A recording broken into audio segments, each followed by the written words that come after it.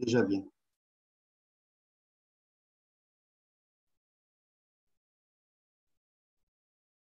De toute façon, euh, les gens qui vont aller au cégep, euh, même cégep, ça, ça, va, euh, ça va se poursuivre sur Zoom, à part les, les laboratoires, ceux qui font chimie physique, ils vont le faire à l'école, et quelques examens à l'école. Donc, ça continue comme ça.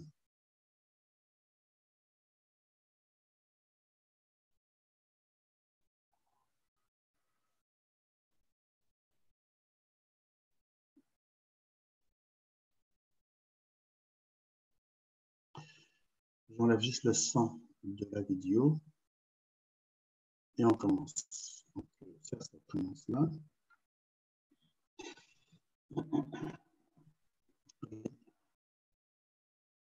C'est bon.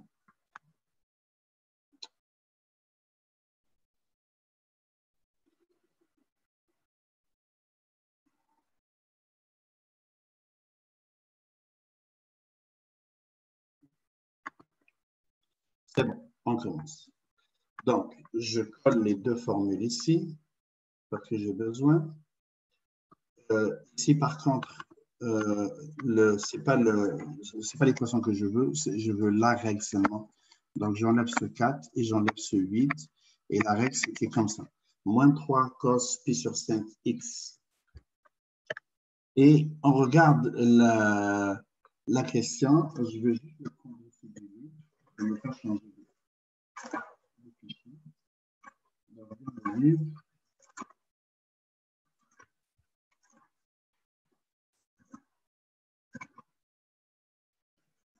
de la deuxième fois, quelle était la population de lièvres alors que celle des lynx atteignait cinq individus? Donc, la deuxième fois, quelle était la population de lièvres alors que celle des lynx atteignait cinq, euh, cinq individus? Donc, qu'est-ce qu'on fait? On va chercher euh, y égale à y de lynx égale à 5. Donc, ça, c'est pour les lynx. Donc, moins 3 cos pi sur 5 x plus 5 égale à 5. Euh, c'est ça, c'est ça qu'ils veulent, égale à 5. On résout l'équation, on va chercher les zéros et on prend le deuxième zéro. Parce qu'ils ont dit euh, euh, la deuxième fois, quelle était la population de lièvres alors que celle des lynx atteignait 5 individus. Donc, on résout cosinus pi sur 5 x égale à 5 moins 5 divisé par 3, c'est 0. Donc, pi sur 5 x égale à cos moins 1 de 0. Et le cos moins 1 de 0, le cos est nul à pi sur 2 en premier lieu et 3 pi sur 2 en deuxième lieu.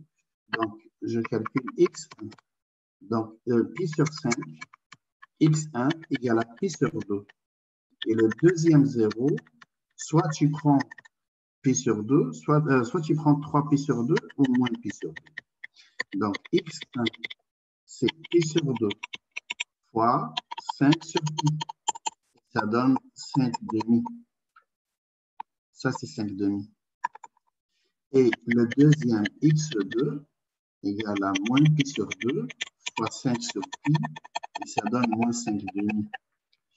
Et je rajoute à chaque zéro la période.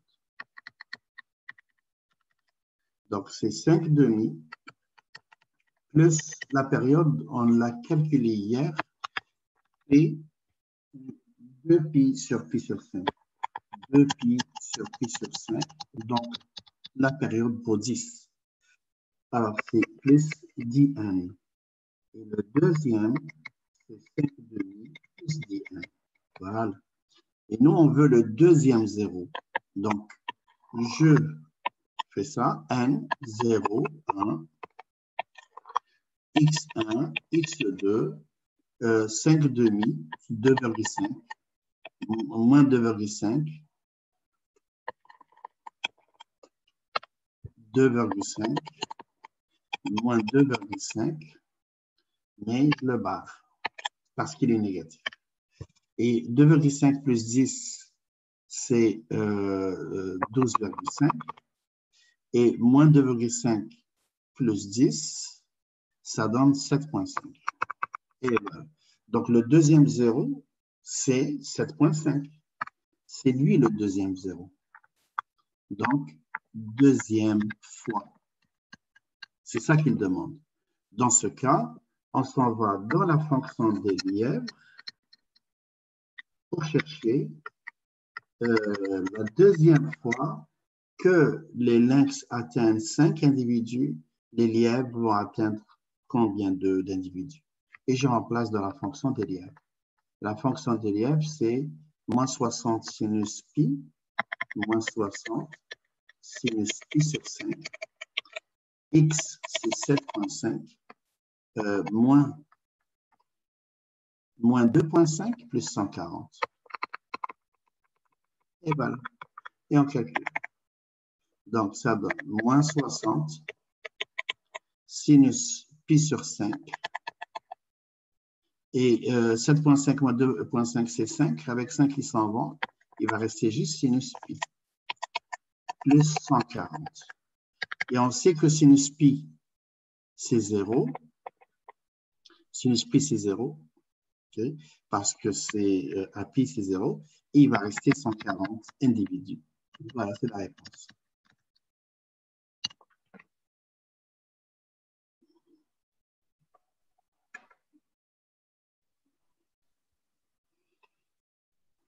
Ok, donc cet exercice est fini. Je vais chercher maintenant euh, l'examen de l'année passée.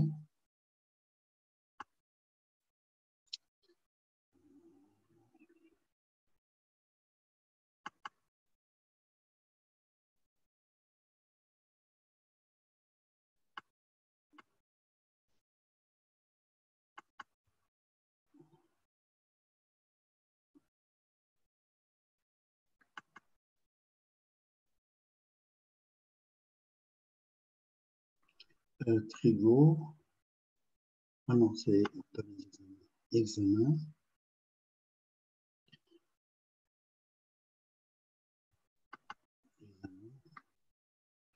Puis, étape 3, examen Trigo, c'est celui-là.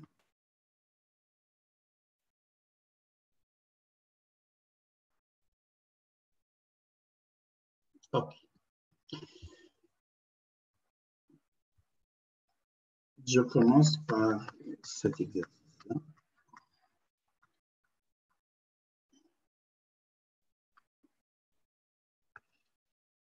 Je prends juste la capture d'écran.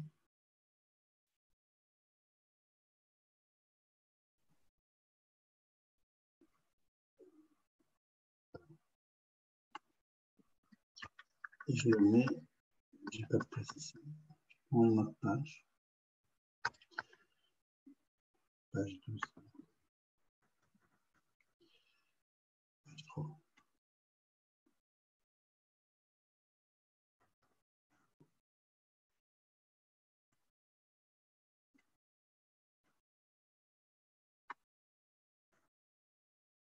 Voilà.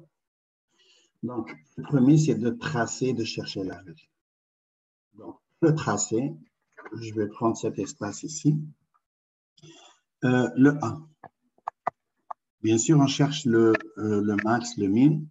On a besoin, toujours, c'est les mêmes outils. Le max, c'est 5 moins 3.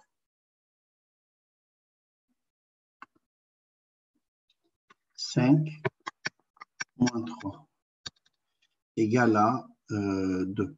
Euh, 5 plus 3, pardon. 5 plus 3, c'est 8. Et le min, c'est 5 moins 3 et ça donne 2.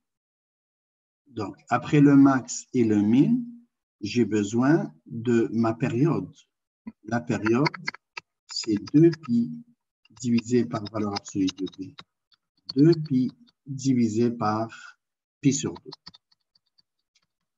Et ça donne 4. Voilà. Après avoir donné la période, je dois spécifier le h, c'est 2, et H plus P, c'est-à-dire le mur à gauche c'est 2, le mur droit c'est H plus P. Et H plus P, c'est 2 euh, plus la période. Et ça donne 6. Et j'ai besoin du quart de période. C'est 4 sur 4 égale 1. Voilà.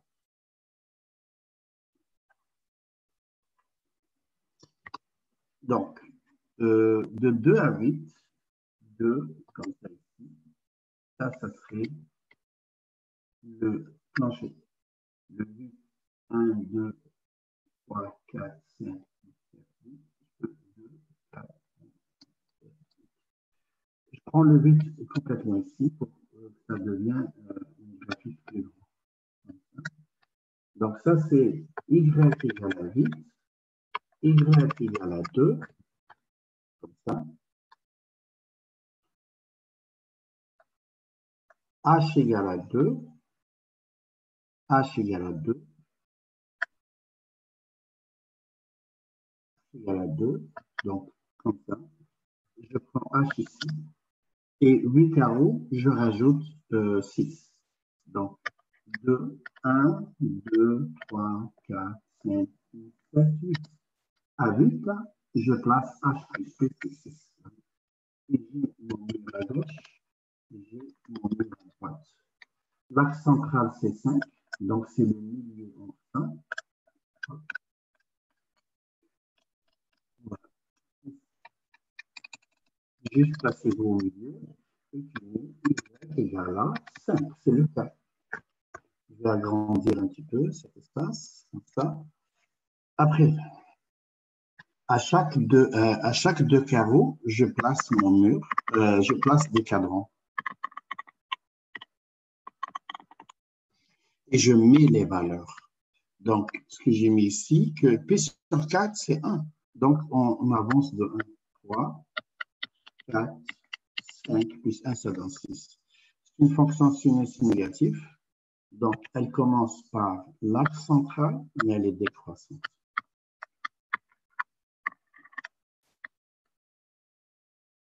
Voilà.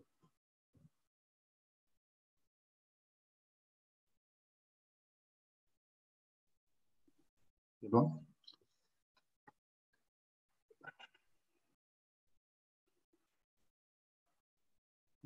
on continue avec l'autre, le B. Pour le B,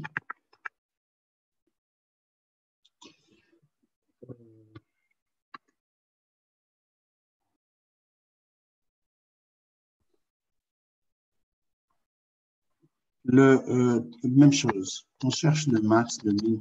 Donc, le B, c'est moins 1 plus 2, ça donne 1. Et le min, c'est moins 1, moins 1, c'est euh, moins 1, moins 2, et ça donne moins 3. Moins 2 égale à moins 3. Le min, le, la période, c'est 2pi divisé par 1,5, et ça donne 4pi. Ça, c'est la période. C'est 4 pi.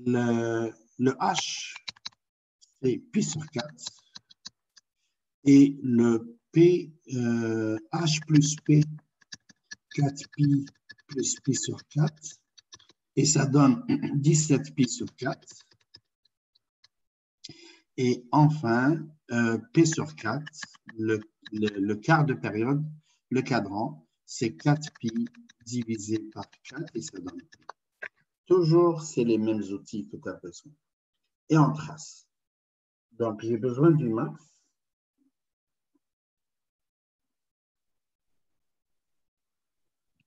Donc, le max ici, c'est 1 euh, et le min, c'est moins 3. Donc, je peux faire deux carrés pour 1. Donc, le max, c'est 1. Supposons que ça, c'est 1 et euh, je me déplace de mon 3. Donc 1, moins 2, moins 3 ici. J'ai pris deux carreaux pour 1. Donc ça, c'est 1, 1. Après, euh, on commence à pi sur 4. Donc pi sur 4, toujours, je prends le premier carreau, c'est lui le pi sur 4. Pi, je vais agrandir ici, pi sur 4. Et ça sera le mur à gauche je compte à chaque deux carreaux je mets des cadrans. Euh, l'axe central, il ne faut pas que je l'oublie, c'est moins 1. Et moins 1, c'est lui. ça, c'est l'axe central.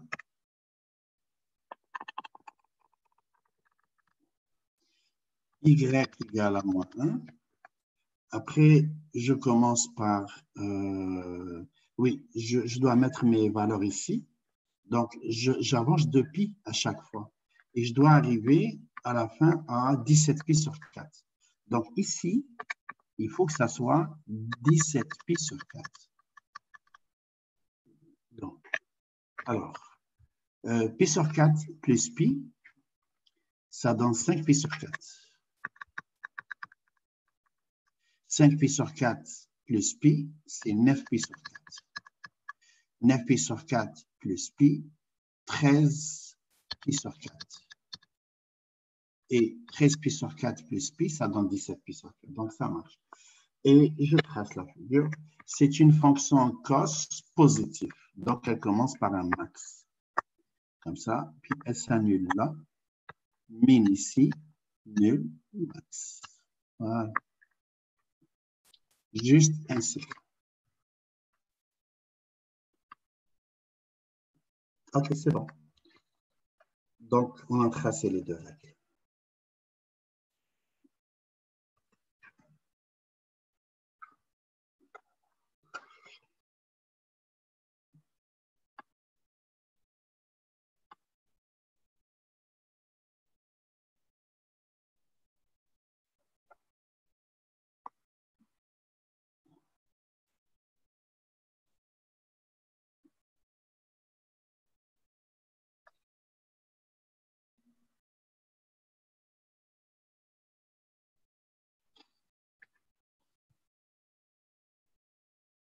C'est bon? La règle maintenant, la première. Donc, toujours, on cherche le A. Le A, c'est max moins min divisé par 2. Le max ici, c'est 2,5. Le min ici, c'est euh, moins, moins 0,5 divisé par 2. Donc, ça donne 3 divisé par 2, c'est 1,5 le K 2.5 plus moins 0.5, le tout divisé par 2. Et ça donne 2 sur 2, ça donne 1. Euh, le, la période. La période. Euh, monsieur? Oui. Pour le A, c'est pas euh, 3, parce que si on fait moins, moins. Oui, divisé par 2. Ah, ok, divisé par 2. Mmh. Ah, la période, je compte le nombre de carreaux entre deux mines. 1, 2, 3, 4. Il y a 4 carreaux. Et chaque carreau, c'est pi sur 2. Donc, 4 fois pi sur 2, c'est 2 pi. La période, c'est 2 pi. Donc, le B, c'est 2 pi divisé par 2 pi égale à 1. C'est tout. Donc, on cherche règle. Y égale à euh, le point qu'ils ont donné ici, c'est lui, c'est moins pi sur 2, 1, donc h égale à moins pi sur 2. Donc, et c'est une sinus positive. Le A, c'est 1.5, sinus. Le B, c'est 1, x moins moins pi sur 2, et plus 4. Voilà. C'est ça là. Euh, monsieur, j'ai une question. Oui. Et quand le B égale à 1, est-ce qu'on est obligé de l'écrire? Non. OK. On n'est pas obligé de l'écrire. 1 euh, est un élément neutre dans la multiplication. Puisqu'il est neutre, il, n'a pas d'influence. Moi, juste, je l'écris juste pour dire que j'ai trouvé B égale à 1. OK. Deuxième règle, s'il n'y a pas de question par rapport à celle-là. Euh, le A. Max moins min. Le max ici, c'est un 2. Et le min ici, c'est moins 6. Divisé par 2. Donc, 2 plus 6, c'est 8. Divisé par 2, c'est 4. Le K, c'est 2 plus moins 6. Divisé par 2, et ça donne moins 2. Euh, la période, Donc, j'ai 1, 2, 3, 4, 5, 6 carreaux entre deux max et chaque carreau vaut 1, donc c'est 6. Et le B, c'est 2 pi sur 6 et ça donne pi sur 3. Fini. On écrit la règle maintenant. Y vaut, euh, ici, c'est un cos négatif parce que le point donné est un min. Donc, c'est moins 4 cos pi sur 3 fois x moins moins 1, c'est le h, plus k, c'est moins 2. C'est la même.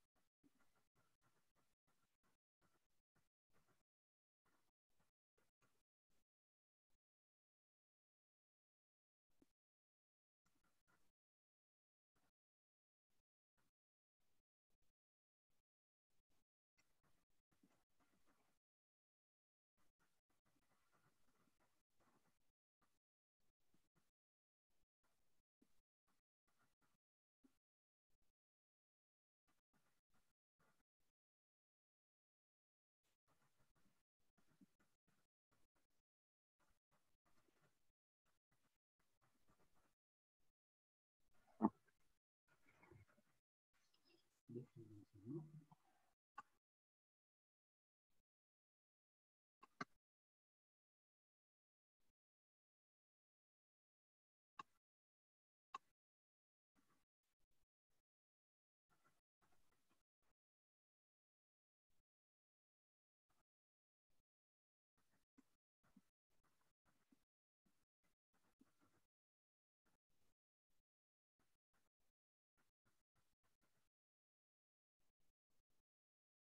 Donc, je vais chercher l'autre exercice.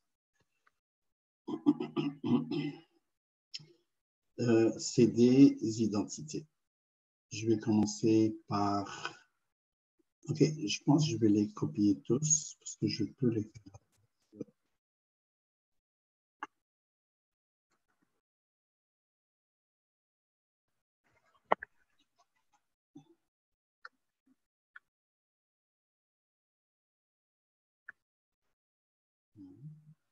Est-ce qu'il y a un autre Ok, juste sauter.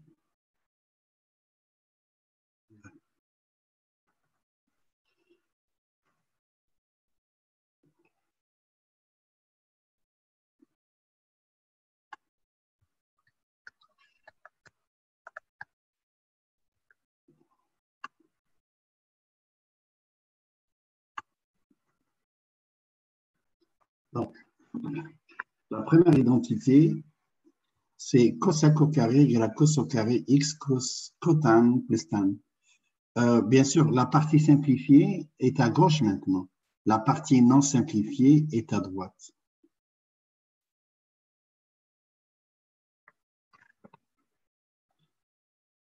Donc, euh, donc qu'est-ce qu'on doit simplifier? C'est la partie à droite. Euh, oui, c'est ça, la partie à droite. Et le cosaque au carré, on le laisse tout le temps comme ça, il va nous suivre. Maintenant, qu'est-ce que je dois faire? Le cos au carré, pour l'instant, je le laisse comme ça. Il faut Euh, pas monsieur? se... Oui. Je suis désolée de vous, euh, de vous interrompre. Non, Euh. Pour, euh, là, vous venez de dire qu'on on va, on va simplifier euh, à droite. partie droite, oui. OK, fait que c'est à chaque fois qu'il y a comme, euh, il y a un côté où il y a vraiment plus de, genre Mhm. d'équation, je sais pas comment dire ça. Euh, c'est ce côté-là qu'on va simplifier et pas l'autre? Bien sûr. Tu simplifies toujours le côté le moins simplifié. OK. Mais est-ce que, admettons, cosec, euh, cosec 2x, ça, est-ce qu'il faut comme le simplifier éventuellement? Ou... Non, non. On montre que les deux bords sont identiques. Donc, Ah, qu'est-ce que tu vas ok. faire? Le, le bord à gauche, tu le laisses, il est simplifié. Mais le bord à droite, tu le simplifies jusqu'à ce qu'on trouve cosec égale à cosec. Cosec au carré égale à cosec au carré. OK, parfait, merci. Donc, le cos au- il ne faut pas se précipiter de remplacer cos au carré par 1 moins sin au carré ou bien quelque chose. Il faut laisser comme ça pour l'instant cos au carré. Et je regarde le cotane plus tan. Donc, cos au carré x. Le cotane, ce n'est pas un au carré et ne distribue pas le carré. Pourquoi? Parce qu'à l'intérieur de la parenthèse, on peut simplifier d'abord. Alors, ça donne cos x sur sin x plus, euh, je travaillais pour 100%, voilà, cos x euh, sur sin x plus le tan, c'est sin x divisé par cos x, le taux au carré. Après, lui, je le répète tout le temps. Cos au carré. Et le- l'intérêt de la parenthèse, c'est une addition de deux fractions. Automatiquement, je mets mon ordinateur et ça devient cos au carré plus sin au carré, le tout divisé par sin cos. Le tout au carré. Cosec au carré égale à cos au carré. Cos au carré plus sin au carré, c'est 1. 1 divisé par sin au carré x, cos au carré x. Et cos au carré x divisé par cos au carré, euh, x, c'est 1 sur sin au carré. Alors, qu'est-ce qui va rester? Il va rester cosec au carré x égale à 1 sur sin au carré. Et 1 sur sin au carré, c'est cosec au carré. Alors, cosec au carré x égale à cosec au carré x. Il faut s'arrêter là. Ce qu'il faut démontrer, dès qu'on trouve le même bord des deux côtés, ça veut dire que c'est fini. On. Euh, Monsieur, j'ai pas compris comment vous avez appliqué la- l'exposant 2 en haut et en bas et après qu'est-ce que vous avez fait? Où est-ce que j'ai- appliqué l'exposant? À la fin, ici. Ouais, Parce que cos au carré plus sin au carré, c'est 1. Donc, ça donne 1 au carré, c'est 1. Et sin x cos x au carré, c'est sin au carré cos au carré. ok. J'ai distribué le carré au numérateur et au dénominateur. Ok, et après vous avez distribué le cos Je- non, je n'ai pas distribué, j'ai simplifié. J'ai simplifié, ça c'est un produit. J'ai enlevé cos au carré avec cos au carré. Ah, ok. C'est correct. Merci.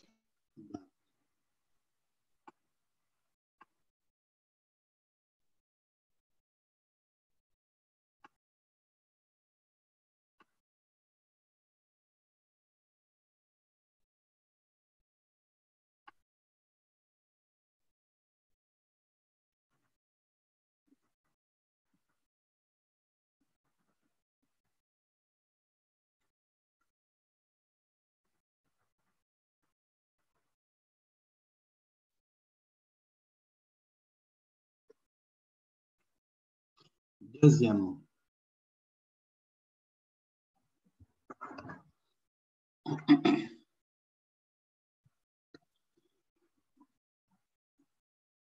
deux sec au carré x égale à 1 plus tan au carré. Donc, euh, le b, ça c'est le 1. Le b. Donc, la meilleure façon ici, donc la partie droite, elle est moins simplifiée. La partie gauche, on la voit, elle est simplifiée. Donc, 2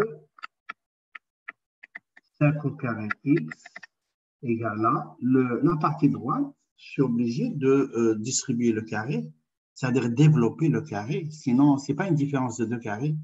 Donc, ça devient 1 plus 2 tan plus tan au carré. J'ai appliqué le carré parfait. Plus 1 moins 2 tan plus tan au carré. Je continue avec 2 sec au carré. 1 plus 1, c'est 2. 2 tan moins 2 tan, ils s'en vont. Et tan au carré plus tan au carré, c'est 2 tan au carré. Je mets 2 en évidence et ça devient 2 sec au carré x égale à 2 et ça donne 1 plus tan au carré. J'utilise l'identité. 1 plus tan au carré, c'est sec au carré. 2 sec au carré x égale à 2 sec au carré x.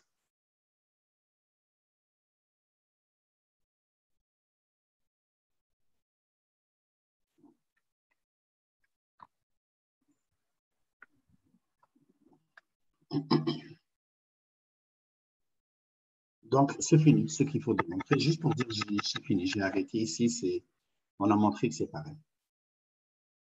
C. S'il y a des questions, bien sûr, j'arrête et je réponds. Pour le C, donc cosinus x, sinus x égale à cosinus x plus sinus x, le tout divisé par sec x plus cosec x. Bien sûr, la partie la moins simplifiée est à droite aussi maintenant. Elle est à droite. Euh, parce que cos, x et sin x, c'est de base, je ne peux pas remplacer. Donc, je mets cos x, sin x égale. Euh, je vois ici, il y a cos x plus sin x. Je ne peux rien faire avec cos x plus sin x. Il n'y a pas d'identité avec cos x plus sin x. L'identité pythagoricienne, c'est cos au carré plus sin au carré. Nous, on n'a pas de carré ici. Il ne faut pas euh, faire des carrés ou faire des racines carrées. Donc, on laisse comme ça. Tout divisé par sec x. Le sec x, c'est 1 sur cos x. Plus cosec x, c'est 1 sur sin x. Donc, cos x Donc, ici, 1 sur cos x plus 1 sur sin x, on doit mettre un dénominateur. Donc, cos x plus sinus x, ça, c'est le grand trait de fraction. Le grand trait fraction, il est à côté de égal. Il ne faut pas mettre des étages comme ça. C'est vraiment comme ça qu'il faut écrire. Et je mets même dénominateur sinus plus cosinus, sinus x plus cosinus x, le tout le, deuxième fraction, je mets un, trait de fraction plus petit que celui du principal. Lui, c'est le principal. Il est devant l'égal. Donc, ça donne cos x fois sinus x. Et après, même chose, cos x fois sinus x. Euh, ici, je multiplie par l'inverse parce que ça, c'est une division de deux fractions. Cos x plus sinus x, le tout sur 1 fois cos x sinus x, le tout sur cos x ou bien sinus x plus cos x. Donc, tout ça, c'est un produit. Donc, tout ça, avec ça, ils s'en vont. Je les barre et ça reste cos x sinus x égale cos x x. Ce qu'il faut demander.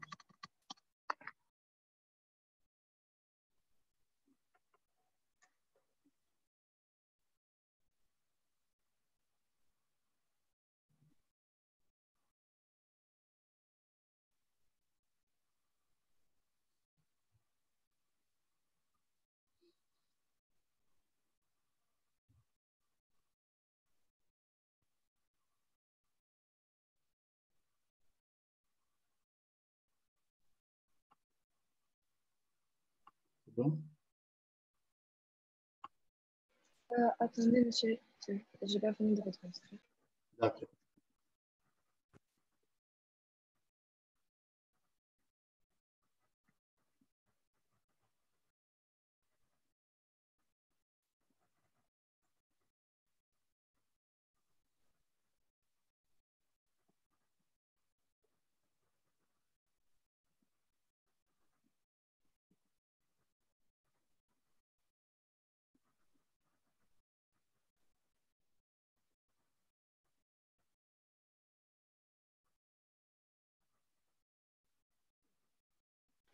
C'est bon pour moi, merci.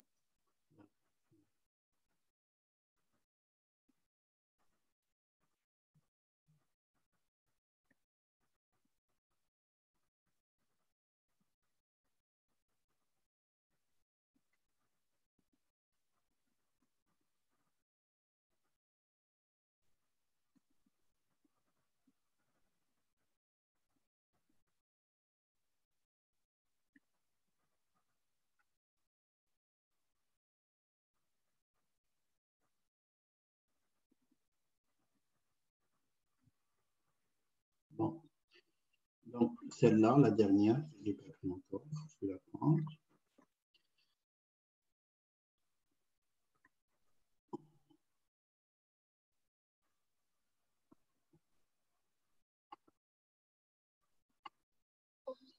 Donc, je prends une page. Euh. Page 4.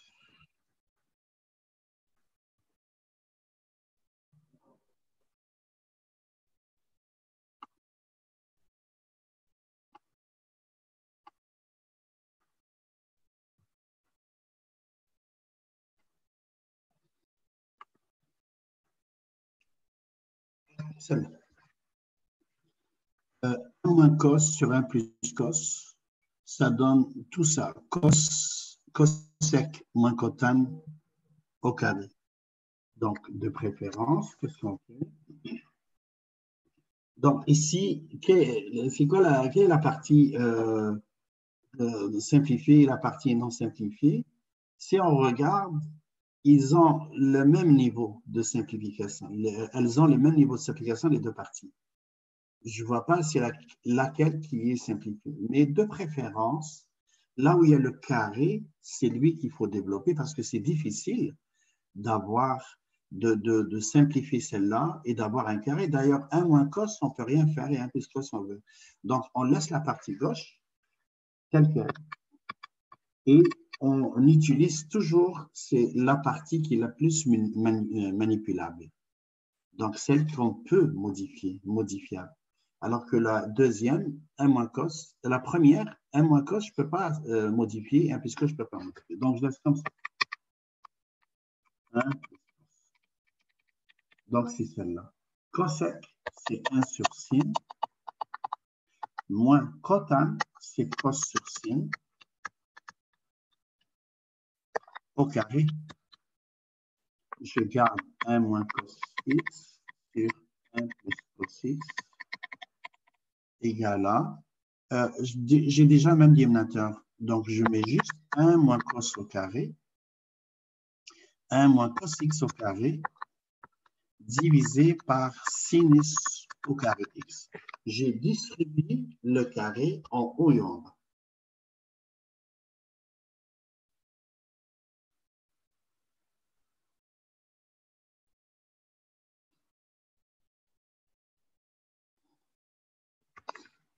Et après,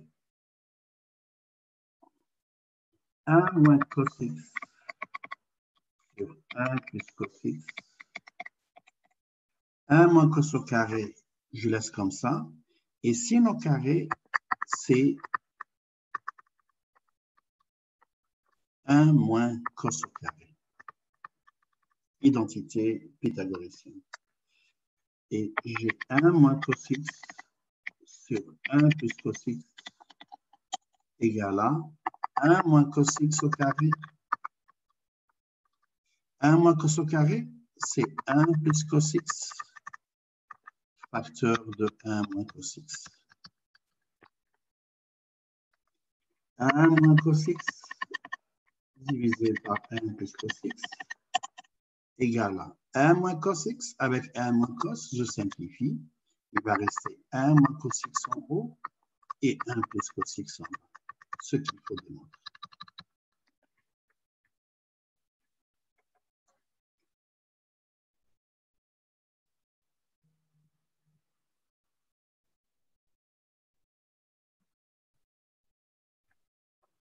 C'est bon? Voilà. Donc, euh, cet exercice est fini. Euh, j'ai rajouté hier euh, à la demande de quelques élèves qui voulaient des exercices supplémentaires parce qu'ils avaient fini les exercices. Puis je suis parti chercher, chercher, puis j'ai trouvé.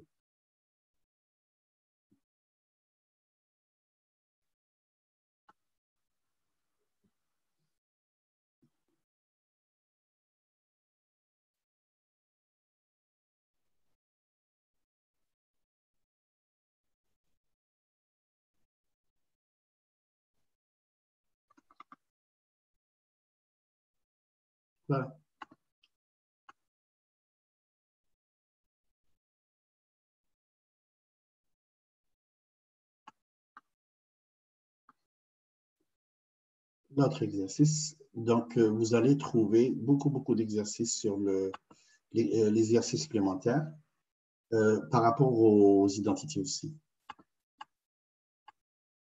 L'autre exercice. Celui-là, ça, c'est un contexte. Est-ce que lui, on l'a fait? Lui, on l'a fait. Au cours d'expérience au laboratoire, des chercheurs créent des ondes mécaniques. On l'a fait. C'est ça, hein? on l'a fait. Euh, le troisième, c'est l'exercice 3 de l'examen antérieur, où c'est écrit le flotteur euh, flotte, euh, puis il, se trouve initialement à 10 cm du fond de la cuve, à l'aide d'un lecteur optique. Les chercheurs notre différents auteurs je peux faire. Ouais, on a déjà fait celui-là. On a déjà fait celui-là. Euh, lui aussi, le quatrième, on l'a fait parce que c'est la même chose. Une étude révèle qu'en raison des naissances, d'immigration et de présence de nombreux prédateurs, euh, une espèce d'oiseau d'Amérique du Nord et ainsi de suite. Lui, on l'a fait aussi. Donc, euh, il y a beaucoup de choses qu'on a faites là. Donc, je suis obligé d'y aller dans les expérimentaires après. OK, on va faire par contre celle-là. Donc, les inéquations maintenant.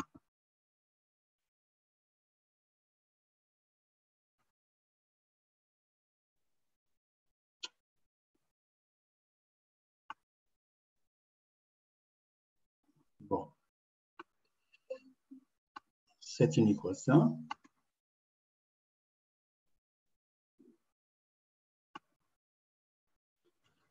Voilà.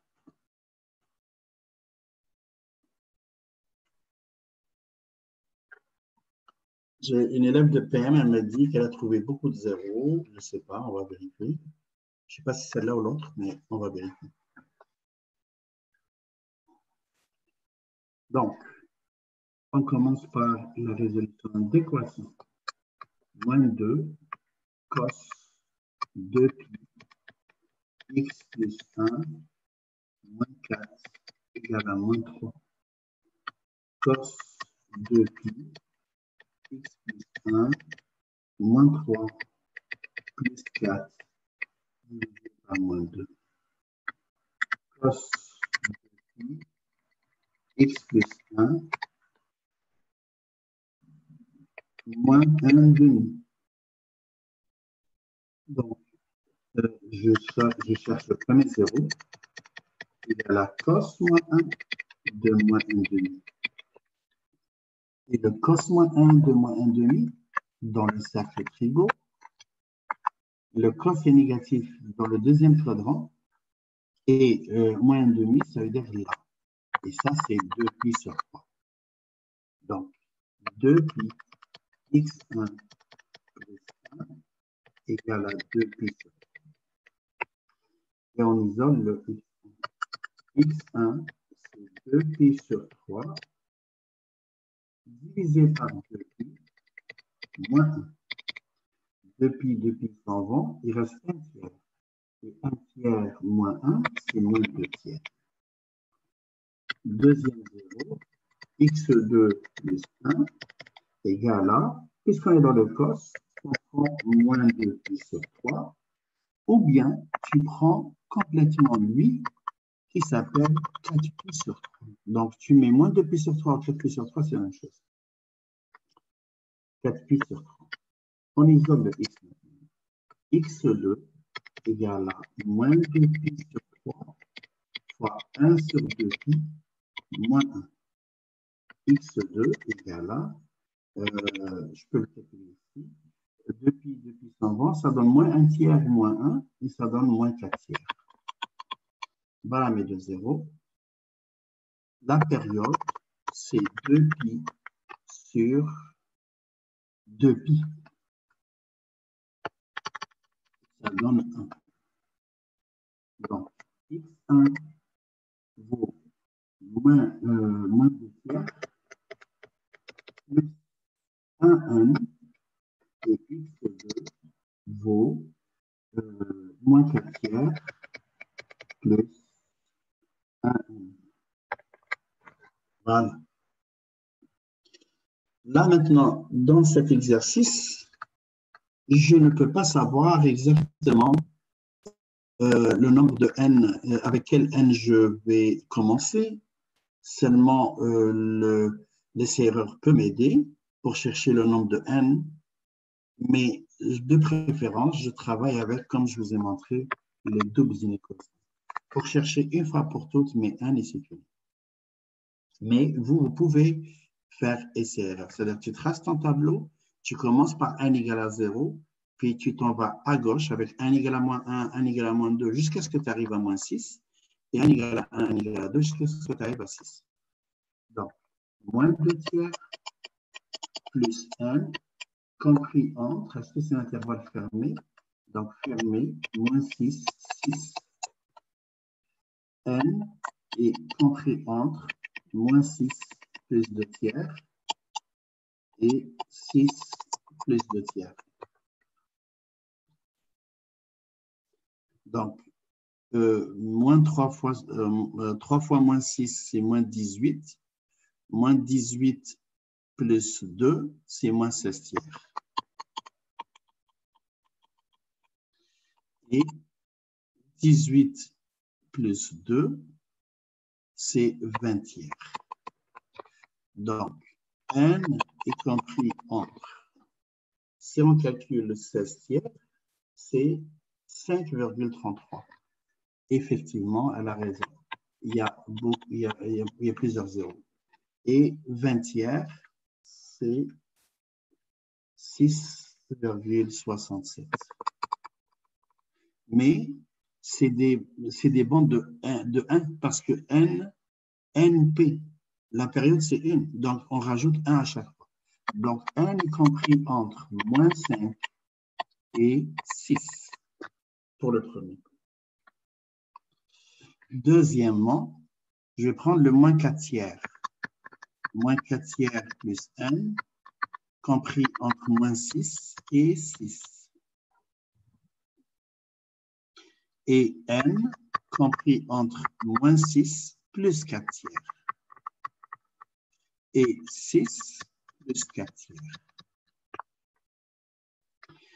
n compris entre Moins 6 plus 4 tiers, c'est moins 18 plus 4, c'est moins 14 tiers. Et 24, 18 plus 4, 22 tiers. N est compris entre 14 tiers, c'est 4,67, moins 4,67. Et le 22 tiers, c'est 7,33.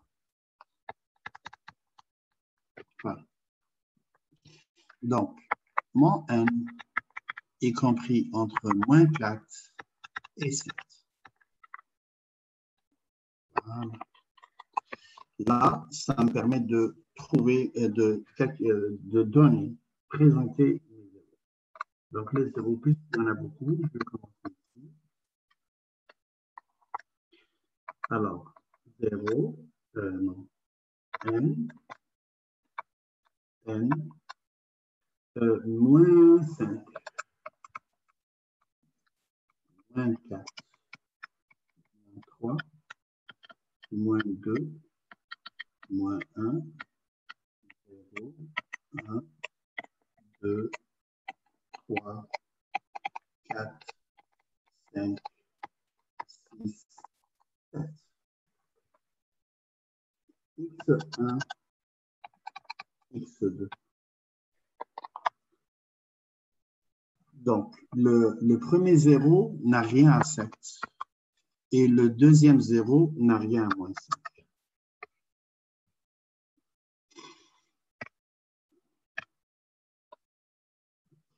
Euh, à 0, toujours je prends le A0, c'est plus facile. À 0, j'ai moins 2 tiers.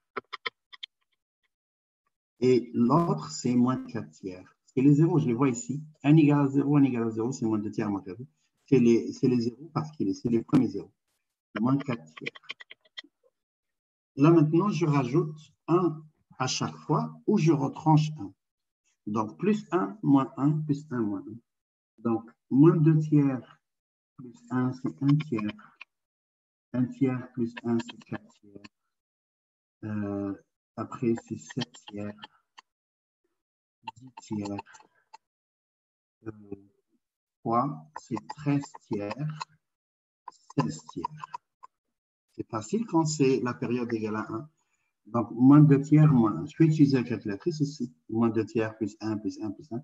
Donc, moins 2 tiers ici. Maintenant, c'est moins 1 moins 5 tiers, moins 8 tiers, moins 11 tiers, et moins 11 tiers avec le 3, ça donne quoi?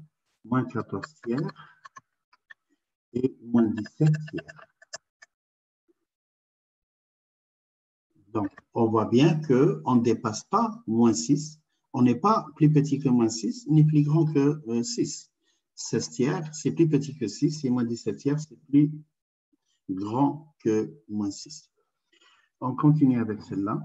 Moins 4 tiers plus 1. Donc, c'est euh, moins 1 tiers plus 1, 2 tiers plus 1, 5 tiers. On ne doit pas avoir des mêmes zéros. Dans sinus et cos, impossible qu'on ait des zéros doubles. Dans le tan, oui, mais sin et cos, impossible. Donc, tu vérifies il ne faut pas qu'il y ait des zéros pareils, identiques. 5 tiers, 5 tiers plus 1, 8 tiers, 11 euh, tiers, et 11 tiers plus 1, 14 tiers. Pareil ici, moins 4 tiers moins 1, c'est moins 7 tiers. Je n'ai pas de moins 7 tiers. Moins 7 tiers moins 1, c'est moins 10 tiers. Moins 10 tiers, c'est moins 13 tiers et moins 13 tiers, moins 1, c'est moins 16 tiers. J'ai 16 tiers, mais ce n'est pas moins 16 tiers. Donc, le signe opposé. Bon, voilà. Là, maintenant, solution. C'est une inéquation. Donc, solution, je vais écrire solution ici. Ça commence à moins 6. Et je ne pense pas pouvoir écrire tous, euh, toutes ces valeurs-là. Quand on a beaucoup, beaucoup de valeurs, qu'est-ce qu'on fait? Je mets des points de suspension ici, je mets virgule. Je mets juste quelques-uns qui sont dans la partie centrale. Dans la partie centrale, qu'est-ce que je fais? Je regarde lesquels qui sont dans la partie centrale, c'est un tiers et moins un tiers. Alors, je vais mettre moins un tiers ici, un tiers. Et après, je vais écrire le reste jusqu'à ce que j'arrive à 6. J'arrête, mais quand même, je ne peux pas écrire tout, impossible, je ne vais pas arriver. Il y a beaucoup. Donc, c'est ça la technique, comment faire. Moins un tiers, un tiers. Après le un tiers, c'est deux tiers. Quatre tiers. Cinq tiers. Sept tiers. Point virgule. Comme ça. Parce qu'il me, me reste 1, 2, 3, 4, 5, 6. Et le moins un tiers ici, c'est la même chose. Donc, toujours, il y a une symétrie. Donc, moins un tiers, c'est moins deux tiers. Moins deux tiers, moins quatre tiers. Moins cinq tiers. Et enfin, moins sept tiers, et on arrête. Voilà. Les autres, juste par des points de suspension, mais on montre le moins 6 et 6.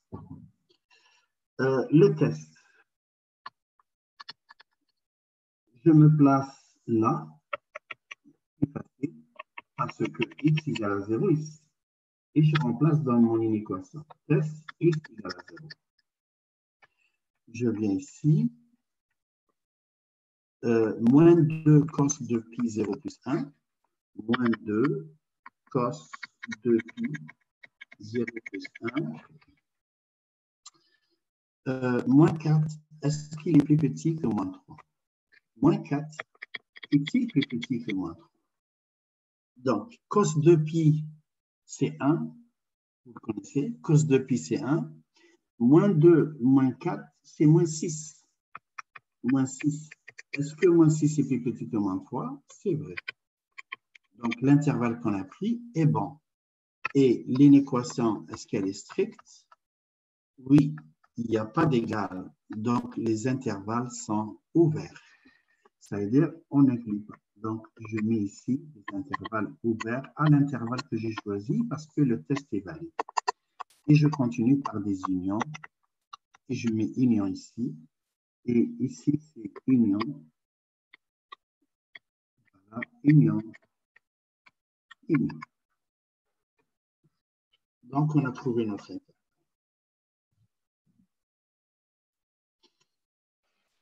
Monsieur, Oui. j'ai une question. Oui, Est-ce que notre, euh, notre point test, ça peut toujours être zéro? On n'a pas besoin de prendre un, un autre non, non, non, non. Hier, j'ai fait un, un exemple d'un test où c'était pas zéro, c'était euh, 4. Tu te souviens? X1 était 4. Je- J'avais dit qu'on peut le- l'intervalle que j'avais pris, y compris entre, je pense, euh, 7 douzièmes et 19 douzièmes. C'est ça. Ah, 7 ok. douzièmes et 19 douzièmes. J'ai pris, euh, euh, non, 7, 7 tiers et 19 tiers. J'ai pris 12 tiers. 12 tiers, c'est 4. Donc, on, peut faire, on peut prendre x égale à 4. Juste, il faut prendre un chiffre, bien sûr, simple. Il faut prendre un entier. Ne prenez pas des fractions comme test. D'accord. Et Mais- pourquoi on s'est arrêté à 6 Parce que l'intervalle, c'est de moins 6 à 6. Ah, et après, après ça a dépassé 6. La, restri- la restriction, ils ont donné l'intervalle, c'est de moins 6 à 6. Donc, j'arrête à 6. Euh, le 6, ce n'est pas le 1, non? Ici, c'est par coïncidence. Ici, c'est par coïncidence, ça a donné 1 égal à 6. Le 6, c'est le 0. Le 0, c'est en rouge. Le 0 ne doit pas dépasser 6. D'accord. Puis, euh, ma dernière question, c'est, vous voyez, c'est écrit moins 5 inférieur ou égal à n, inférieur ou égal à 6. Est-ce que, euh, est-ce que dans, dans une autre équation, est-ce que ça se pourrait que ce soit moins 5 supérieur à ou égal à n supérieur ou égal à 6? Genre, est-ce qu'on peut inverser le truc ou Non, ça, on c'est- peut, ça pas- non, on ne peut pas inverser. Le moins 5 ne peut pas supérieur. Le moins 5 ne peut pas être supérieur à 6. Si tu inverses, comme si tu dis moins 5 est supérieur à 6, alors que moins 5 est inférieur à 6. Donc, si tu inverses, tu dois opposer les signes. Tu dois mettre 5 ici et moins 6 là. Là, ça va marcher. Ah, ok. Ok. D'accord, merci. C'est bon? Euh, je vais prendre l'autre maintenant. Celle-là.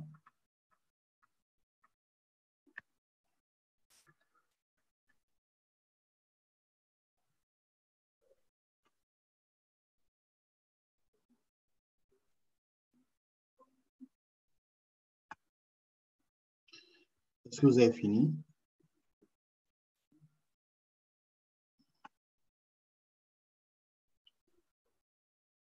C'est bon, c'est fini?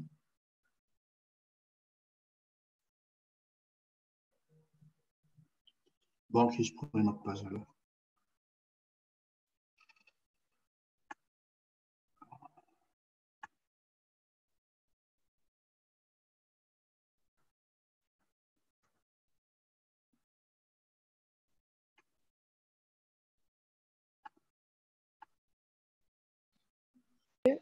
Monsieur, donc si le B c'est 2 pi, ça veut dire que le N ça doit être 1 parce que c'est un tour, c'est ça?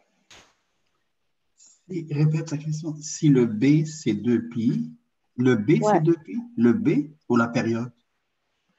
Ben, justement, j'ai- toujours, je suis pas sûre de comment trouver le N, donc je me demandais est-ce que si, c'est- est-ce que c'est par rapport au B, Bien sûr, c'est le, oui, par rapport au, euh, parce que le N, c'est par rapport à la période.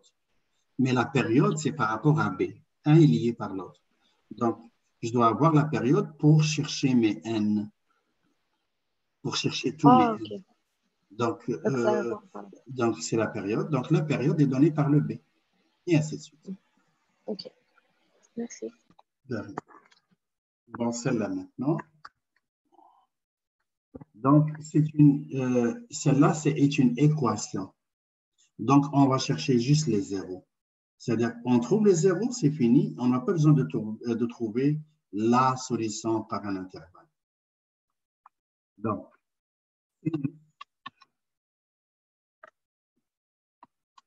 pi sur 4, x moins 3, égale à 6 moins 5, c'est racine de 2, c'est racine de 2. Alors, ça donne x sur 4, x moins 3, égale à 6 moins 5, c'est 1 sur racine de 2. Et lui, il faut toujours le rationaliser. Quand on a une racine carrée, euh, il faut rationaliser, surtout pour le sin et le cos. Donc, sinus pi sur 4, x moins 3, égale à racine de 2 sur 2. Racine de 2 sur 2. Donc, sinus pi sur 4, euh, non, pi sur 4, x moins 3, x1 moins 3, ça sera 6 moins 1 de racine de 2 sur 2.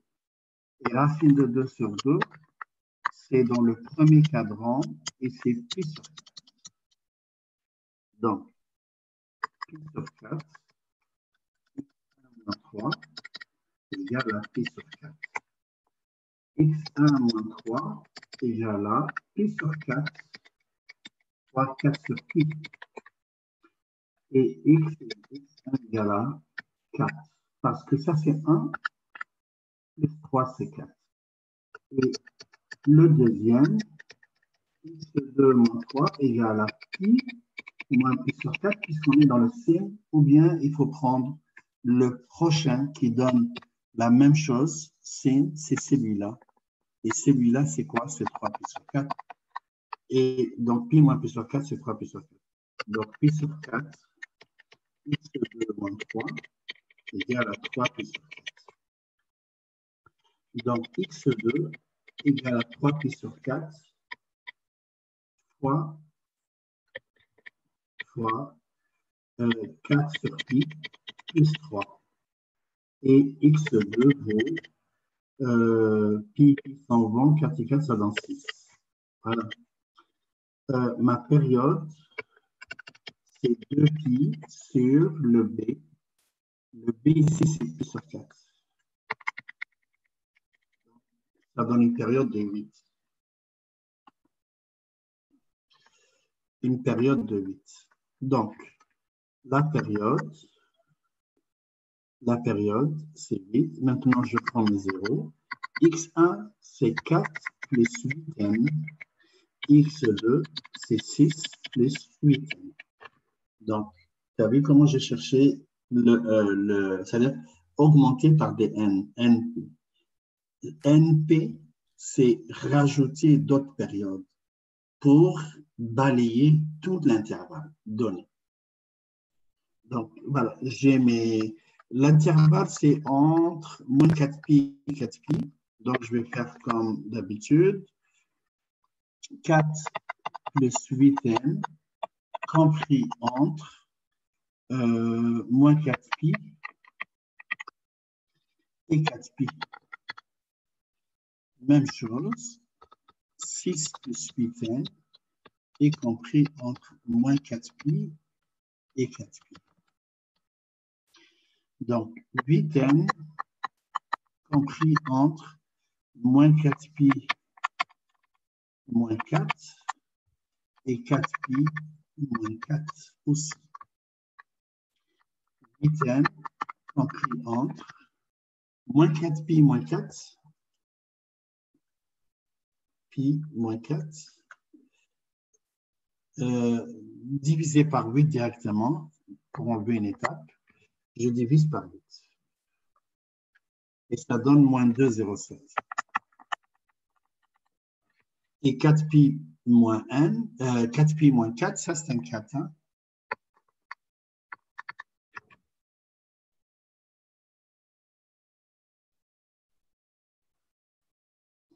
Divisé par 8 égale à 1,07.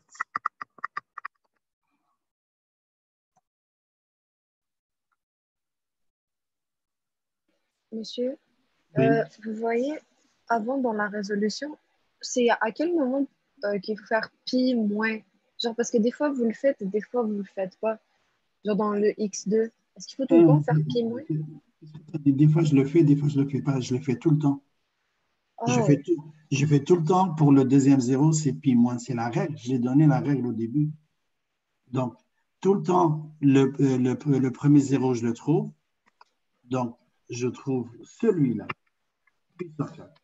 Et après, je fais toujours le deuxième zéro, puis moins le premier zéro. Mais il faut revenir ici. Il ne faut pas faire pi moins du zéro final ici, là. Non. On ne fait pas pi moins 4. Non. On fait, on revient ici, l'angle au complet. Lui, c'est un angle. L'angle au complet, je le prends et je fais pi moins le zéro que j'ai trouvé du cercle. et ça, c'est seulement pour x2 ou Oui. x1 et x2 Comment ça, sinus deux? Mais on a dit que pour le sinus, j'ai donné la règle pour le sinus. Sinus x égale à b, j'ai dit comme ça.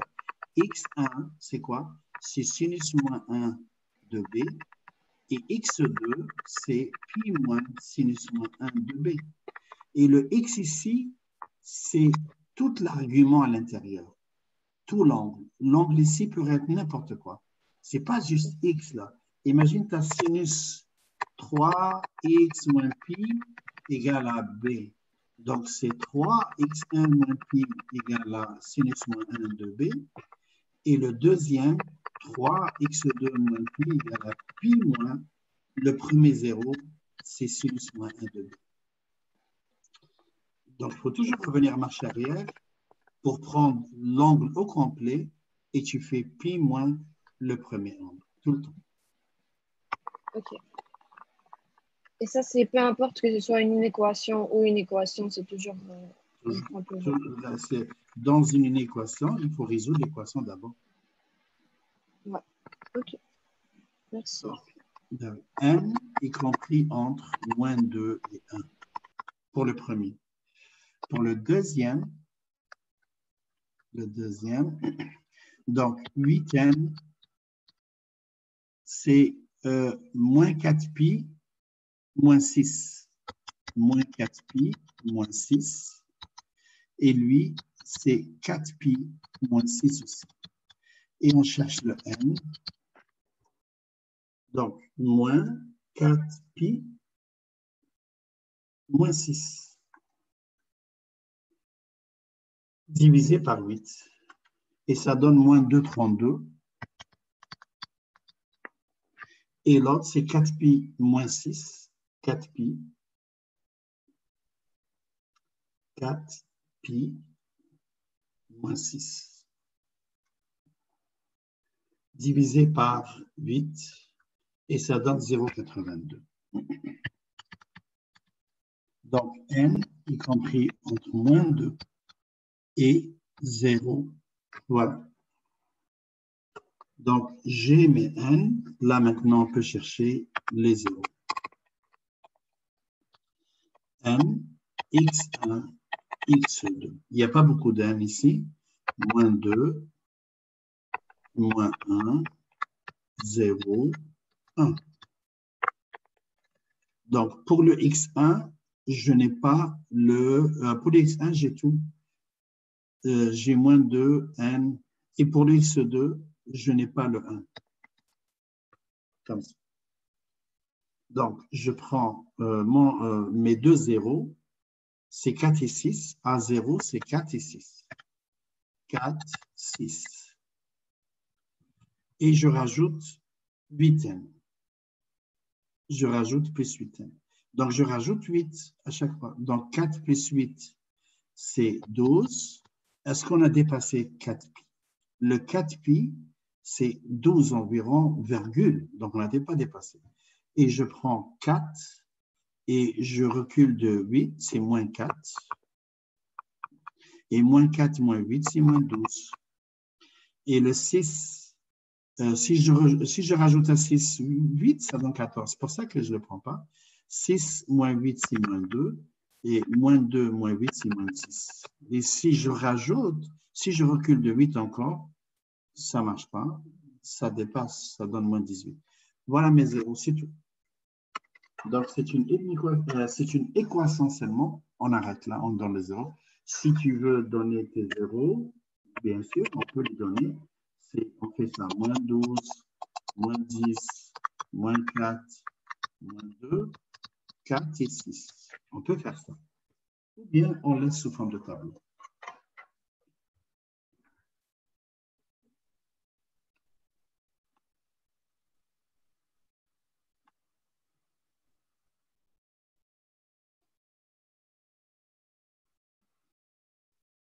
OK. On fait l'exercice prochain, le 6.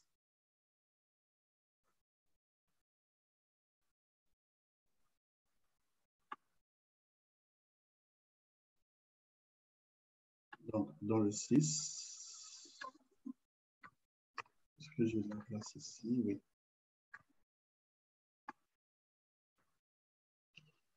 Donc, on donne sin A égale, ça c'est 5 treizièmes. Pourquoi la barre est partie. C'est 5 treizièmes. On donne sin A égale à 5 treizièmes. Ça c'est l'exercice Euh, dans le deuxième cadran, ils ont dit dans le deuxième cadran, c'est-à-dire on est là.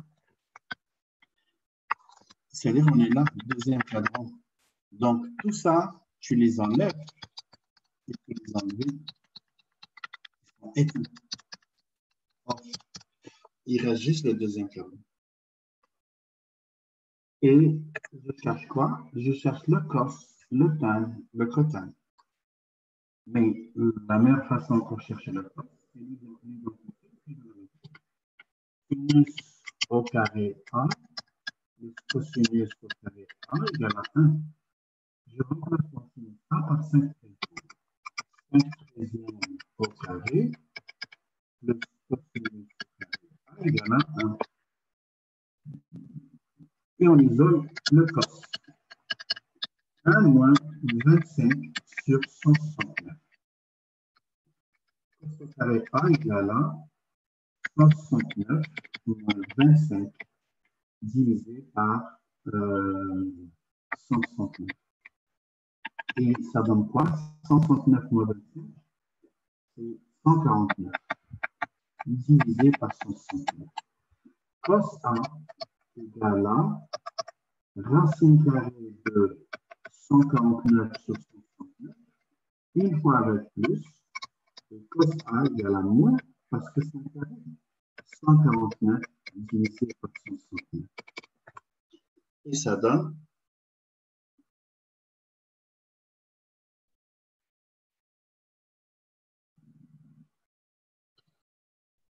Donc, euh, ça m'a donné, attends juste une seconde.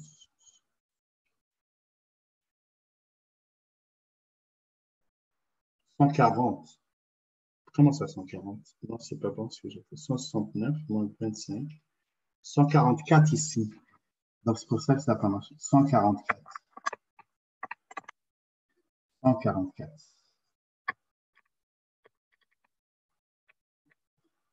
Voilà.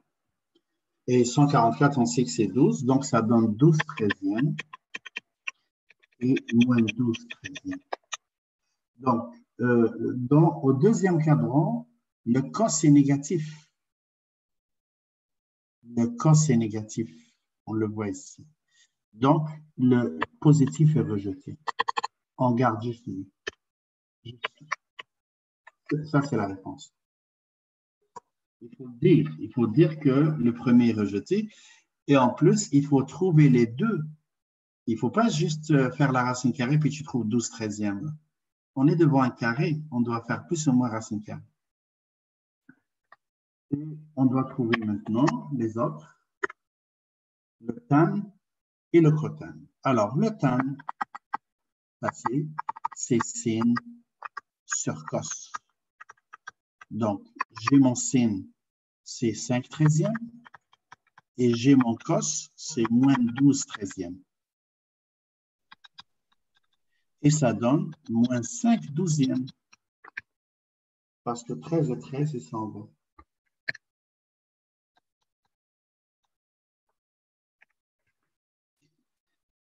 Il reste le cotan, mais le cotan, c'est 1 sur. Ou bien, tu utilises cos sur sin. Et ça donne 1 sur moins 5 douzièmes, et ça donne moins 12 cinquièmes. Et on a le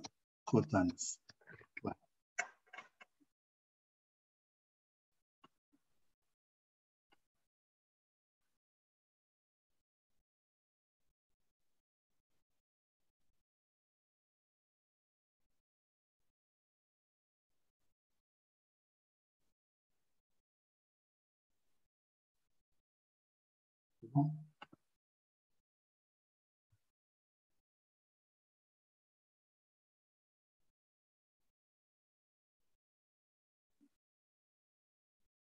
continue. On prend l'autre.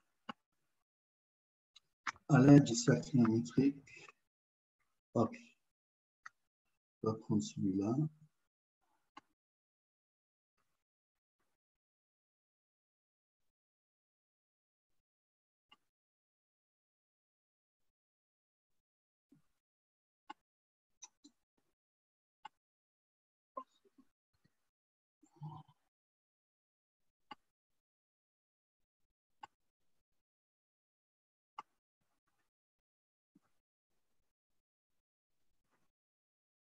À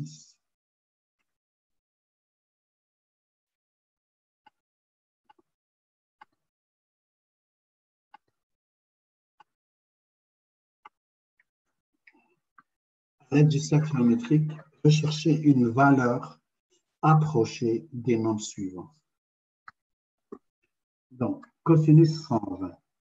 Donc, cosinus 120, nous, on ne travaille pas avec les degrés, et euh, ils ont dit à l'aide du cercle trigonométrique, pas à l'aide de la calculatrice. C'est pour apprendre. Donc, je suis obligé de convertir 120 degrés en radians. Et 120 degrés en radians, ça donne quoi? Ça donne 120 fois pi divisé par 180 degrés. Et ça donne pi et 120 euh, divisé par 180, si on veut réduire, je divise par 60 et ça donne 2 tiers. Donc, ça donne 2 puissance. Là, maintenant, on peut chercher le cos. Alors, cos 120 degrés égale à cos 2 pi sur 3. Et le cos de pi sur 3, on le connaît. Il est là. Et ça donne moins 1 demi. C'est tout. Tu peux utiliser le cercle que tu as, c'est moins 2. Bon, sinus moins pi sur 3. Donc ça, c'est bon, c'est. Sinus moins pi sur 3. Et le moins pi sur 3, il est où? Il est là. Sinus moins pi sur 3, mais nous, on doit le donner.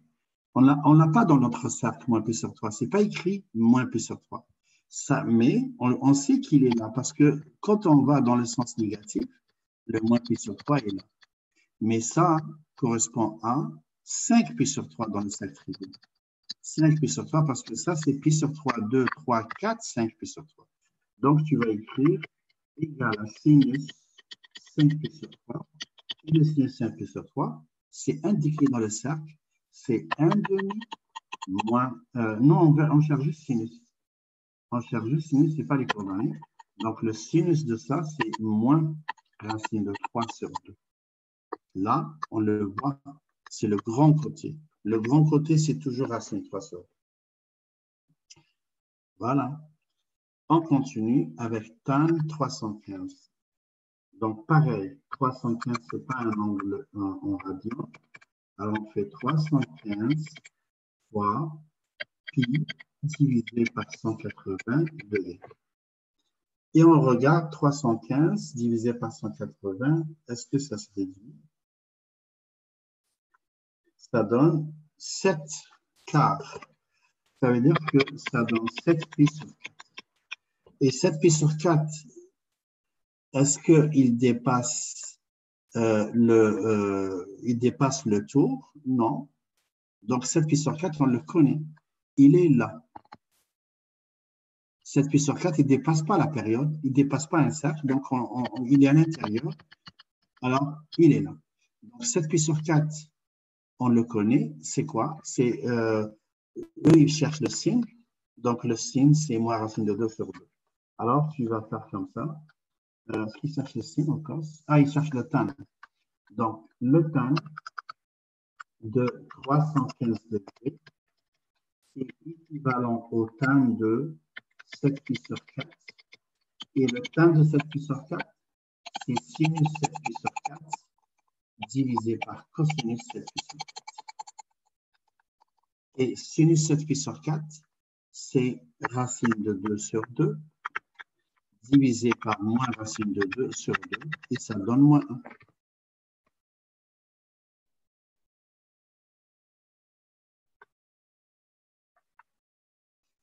Euh, après, c'est cos, euh, cotan 2 pi sur 3.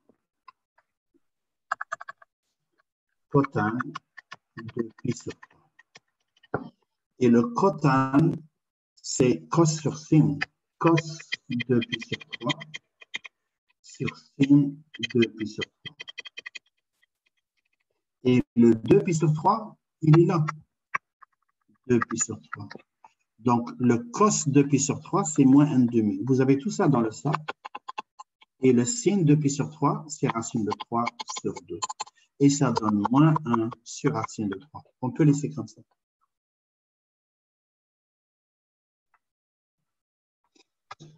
Après le cos, et le cotan, on demande le cos. Cos moins pi sur 4.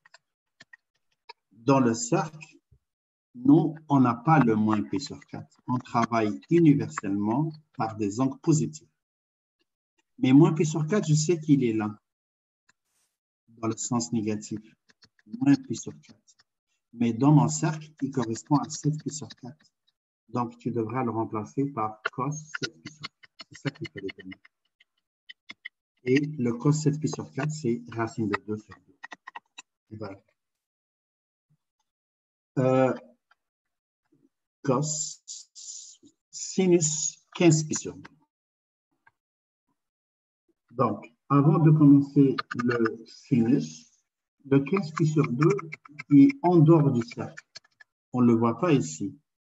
On doit le rentrer dans le cercle. 15 pi sur 2, c'est quoi? C'est 14 pi sur 2 plus pi sur 2. Et ça donne 7 pi plus pi sur 2. Et 7 pi là, plus pi sur 2, ça tombe là. Donc, on tombe à 3 pi sur 2. Ça, c'est 3 pi sur 2. Alors, euh, qu'est-ce qu'ils ont demandé cos ou sin? Ils ont demandé sin. Donc, sin de 15 pi sur 2, c'est l'équivalent de sin de 7 pi plus pi sur 2. C'est l'équivalent de sin de 3 pi sur 2.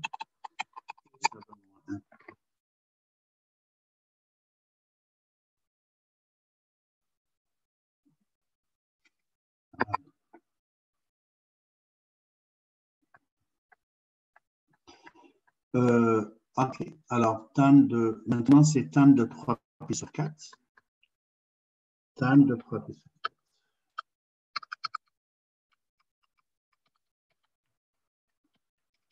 Le 3 pi sur 4, on le connaît. 3 pi sur 4 est là, comme ça. Ça, c'est un 3 pi sur 4. Vous l'avez dans le cercle, on l'a dans le cercle, donc on ne le bouge pas, on laisse comme ça. Et ça donne sinus 3pi sur 4 sur cosinus 3pi sur 4.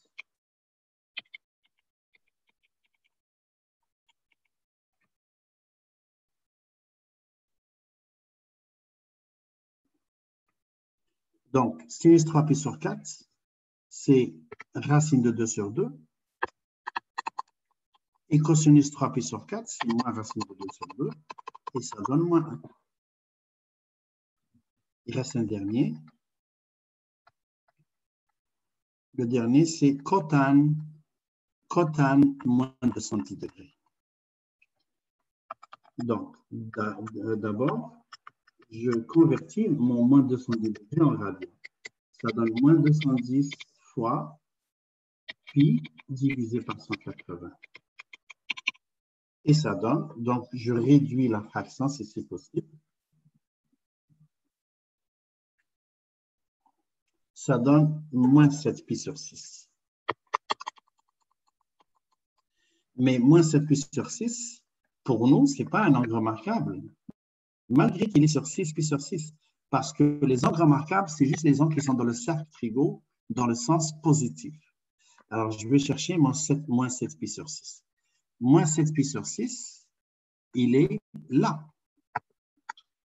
Parce que euh, 6 pi sur 6, c'est là, c'est moins pi. Donc, je, je tourne dans ce bord. Si, par exemple, tu ne sais pas, juste compte des bandes de 30 degrés moins pi sur 6, moins 2, moins 3, 4, 5, 6, 7. Donc, ça, c'est moins 7 pi sur 6. Mais dans le sens positif, lui, c'est un 5 pi sur 6. Donc, c'est l'équivalent de 5 pi sur 6. Alors, qu'est-ce qu'on n'écrit pas égal à 5 pi sur 6, non? On écrit comme ça. Donc, qu'est-ce qu'on veut ici? C'est le cotane. Alors, cotane, j'écris comme ça cotane moins 210 degrés égale à cotane moins 7 pi sur 6 égale à cotane 5 pi sur 6. Tout ça, c'est équivalence totale. J'ai converti de degrés à radian en maintenant le moins. Et après, je cherchais l'équivalent de moins 7 pi sur 6 dans les angles remarquables j'ai trouvé 5 pi sur 6. Et cotane 5 pi sur 6, là, on, le connaît maintenant, 5 pi sur 6, c'est cos 5 pi sur 6 divisé par sin 5 pi sur 6. Et ça donne cos 5 pi sur 6, c'est moins racine de 3 sur 2. Et sin 5 pi sur 6, c'est 1 demi. Et ça donne moins racine de 3. Oui, ce n'est pas difficile, c'est un exercice facile que j'ai donné dans l'examen de l'année passée.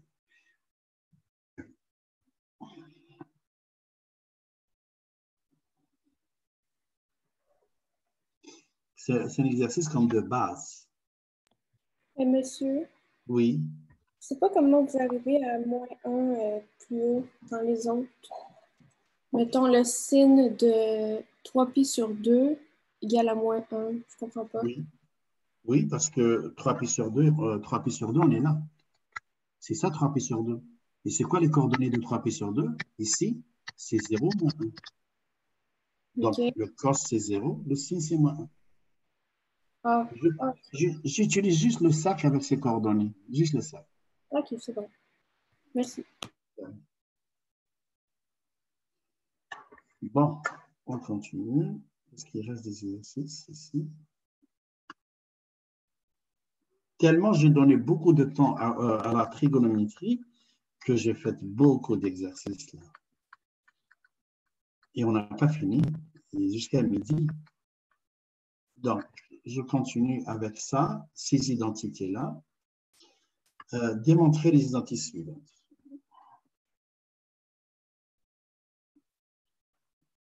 Euh,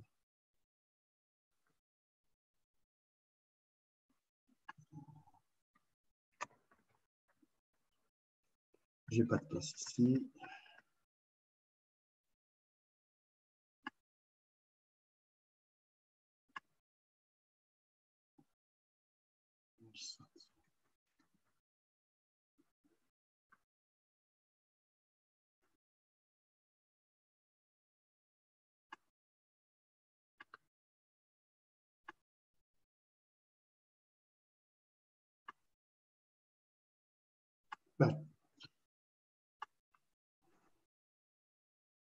L'exercice, c'est ça.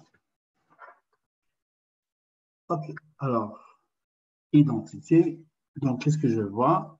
La partie gauche est la moins simplifiée. La partie droite est simplifiée.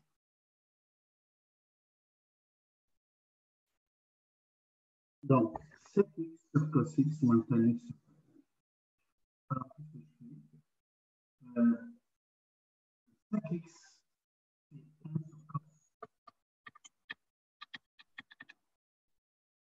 divisé par cos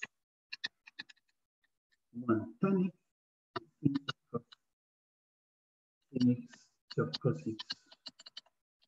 Le tout sur cotan, cotan et cos sur égal à 1. 1 sur cos divisé par cos, ça donne 1 sur cos fois 1. Parce que ici, tu par l'inverse. Alors que lui, c'est moins sin sur cos fois sin sur cos.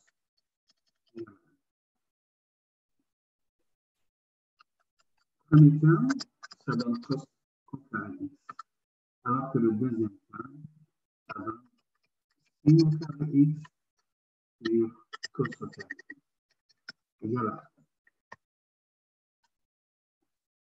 Et ça donne 1 moins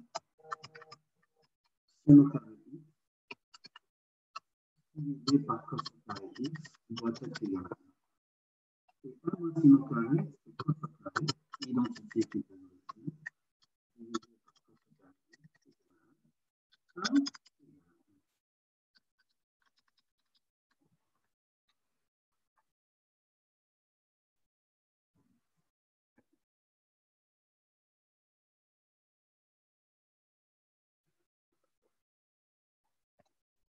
Bon.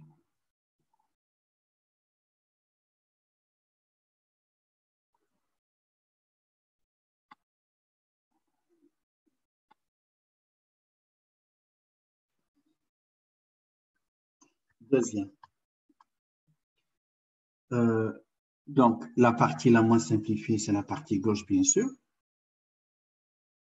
Donc, ça donne cos x sur 1 plus sin x et 1 moins c. Qu'est-ce que je peux faire ici, selon vous, dans cette euh, identité? Que pourrais-je faire? La, la partie la moins simplifiée, c'est la partie gauche, donc c'est celle-là que je modifie.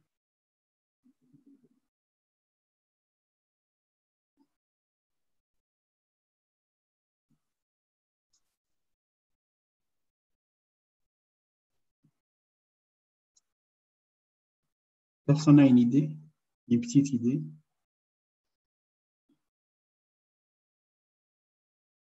Non? Demain, vous allez faire quoi? Si je vous donne celle-là demain, tu es devant ton examen, qu'est-ce que tu vas faire?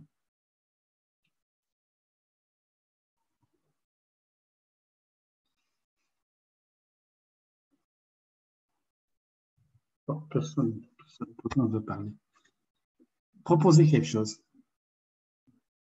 Il n'y a pas? Ah, ok. Premièrement, j'ai cos et cos, je peux mettre en évidence. Et j'ai 1 plus sin, 1 moins sin, je suis obligé de mettre au même binateur. Donc, je tasse ce cos-là, c'est mieux. Donc, ça devient cos x. 1 sur 1 plus sin x moins 1 sur 1 moins sin x égale à 2 sec x. Comme ça.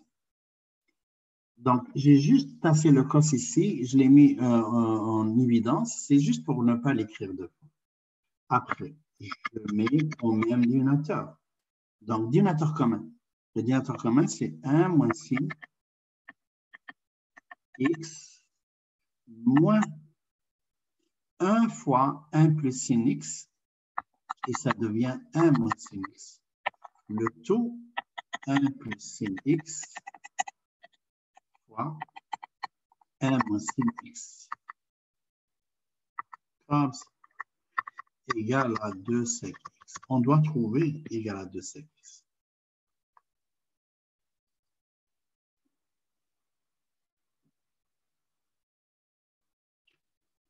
OK, donc pour l'instant, c'est ça. Et après, ici, il y a un petit problème avec le moins. Pourquoi il y a un moins ici? Il y a un petit problème ici? Euh, parce que j'ai moins de 2 sinus x. Je fais quoi avec moins de 2 sinus x? Il y a, petit, je pense qu'il y a une erreur ici. Hein. Pourquoi? Parce que euh, 1 plus sinus x, 1 moins sinus x, il y a un moins ici. Euh, je pense que l'année passée, j'ai trouvé une erreur. Donc, pourquoi? Parce que 1 moins sinus x moins 1 plus sinus x, ça donne 1, 1 moins. Donc, 1 avec 1, ils s'en vont. Donc, il faut que je la corrige celle-là. Donc, euh, ça donne cos x fois moins 2 sinus x sur 1 plus sinus x fois 1 moins sinus x, c'est 1 moins sinus au carré x, c'est identité remarquable. Donc, 1 plus sinus x par 1 moins sinus x, c'est quoi? C'est 1 moins sinus au carré. Égal à 2 sec x. Donc, euh, 1 moins sinus au carré, c'est cos au carré. Alors, ça donne moins 2 cos x sinus x sur sinus 1 moins sinus au carré, c'est cos au carré. Comme ça. Et est-ce que ça donne 2 sec x? Non. Donc, cos avec cos, ils s'en vont et ça donne moins de tan. Ça donne, à vrai dire, moins de sinus x sur cosinus x. Et ça, c'est impossible que ça donne cette carré. Donc, c'est celle-là qui avait l'erreur.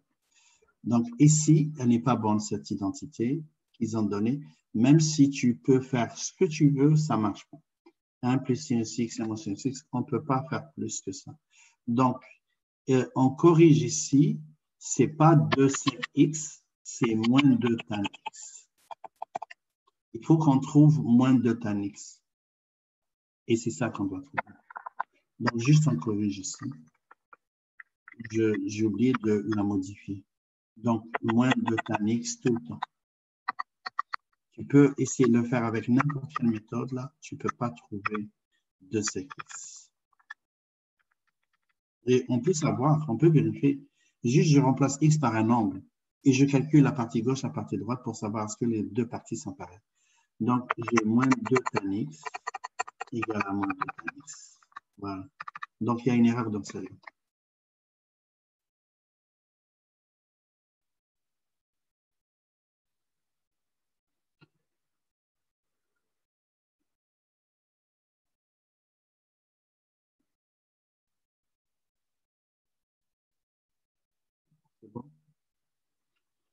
Euh, Peut-être c'est avec un plus. Si je la fais avec le plus, est-ce que ça va marcher? Si je change le moins, peut-être j'ai oublié, au lieu de mettre plus, j'ai mis moins. Donc, euh, si, je la si je la fais avec un plus, comme ça mentalement, avec un plus ici, donc ça devient 1 euh, moins sin plus 1 plus sin, et ça devient 2 sin, 1 euh, plus sin plus 1 moins sin, donc, ça devient, le signe, il s'en va. Et ça devient 2 ici. Et 1 plus sin fois moins sin, c'est 1 moins sin au carré, c'est cos au carré. Oui, c'est ça. Donc, euh, avec plus, ça marche. Donc, ici, l'erreur, elle est juste là. Donc, comme si j'ai fait une erreur, je vais la faire ici. Cosinus x sur, je vais la faire ici, 1 plus sin x plus cosinus x fois 1 moins sin x égale à 2 sec x. Ça, c'est une autre. Hein. Donc, si je fais cela, je mets cos en évidence et ça devient 1 sur 1 plus sinus x plus 1 sur 1 moins sinus x égale à 2 sec x. Et 1 moins sec x fois 1 plus sec. Donc, je mets au même dénominateur, ça donne 1 moins sinus x plus 1 plus sinus x. Le tout sur 1 moins 1 plus sinus x fois 1 moins sinus x. égale à 2 sec x. Comme ça. Là maintenant, le moins sinus et sinus s'en vont. Il reste 2 en haut. 2 cosinus x sur 1 moins sinus au carré x égale à 2 sec x. Et 1 moins sinus au carré x, c'est quoi? C'est cos au carré x. 2 cos x sur cos au carré x égale à 2 sec x. Et 2 cos x sur cos au carré, ça donne 2 sur cos au carré x égale à 2 sec x. Et 1 sur cos x, c'est quoi? C'est sec x. Alors 2 sec x égale à 2 sec x. Donc, on trouve ces deux. Donc, l'erreur, c'était dans le plus ici au lieu du moins.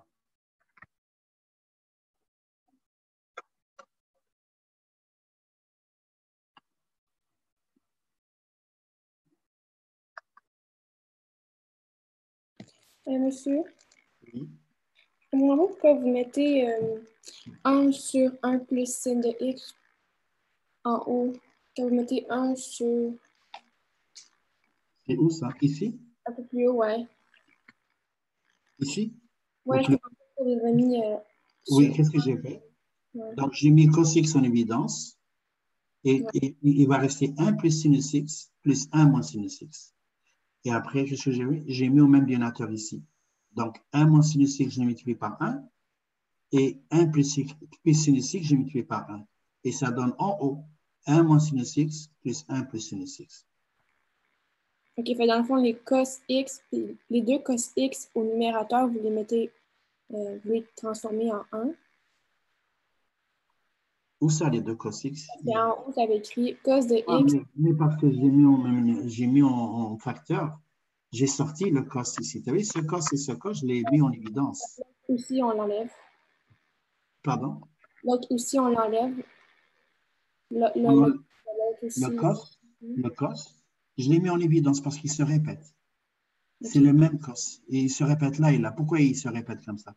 À chaque fois que des facteurs se répètent, tu peux les mettre en évidence, on l'écrit une fois. Même si, même si je ne l'enlève pas, je le laisse, après je suis obligé de l'enlever, de, de le mettre en évidence. Ok, merci. OK, on va prendre l'autre. Euh, c'est sûr que l'autre, on ne finit pas parce qu'il reste quelques minutes pour le- la pause, mais quand même, je vais le commencer. Page 8.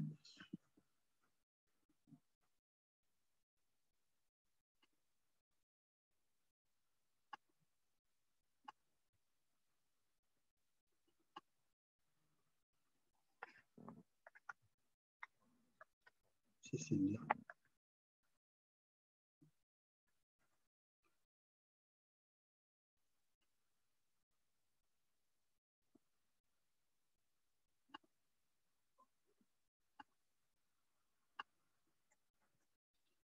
Et quoi ça encore? OK, alors, d'abord, on résume. 4 x plus 3 égale à moins 2 plus 6. Ah, lui, on l'a fait, je pense. Je pense que l'ai fait, lui. Moins 2 plus 6 divisé par 3. Donc, cos 4 x plus 6 sur 3 égale à 4 tiers. Et ça, c'est impossible. C'est impossible. OK. Puis c'est impossible, ça veut dire pas de zéro. Pas de zéro. Parce que le cos x est toujours compris entre moins 1 et 1. Mais ça ne veut pas dire qu'il n'y a pas solution. Qu'est-ce qu'on fait? On va étudier l'inéquation maintenant pour ne pas tracer le graphique. Donc, 3 cos 4 x plus 6 sur 3 moins 6 plus petit que moins 2. Donc, qu'est-ce qu'on fait? J'isole le cos. 4 x plus 6 sur 3 plus petit que moins 2 plus 6 divisé par 3. Et cos 4 x plus 6 sur 3 pi sur 3 plus petit que 4, euh, tiers. Et cette inéquation est vraie pour tout x. Cette inéquation, c'est vrai, vrai pour tout x appartenant au réel. Mais nous, ils ont, ils ont mis une restriction, c'est moins 4 pi, 4 pi. Donc, tous, tout le cos et les sines sont toujours plus petits que 1. Et ça, c'est plus petit que 4 tiers, oui.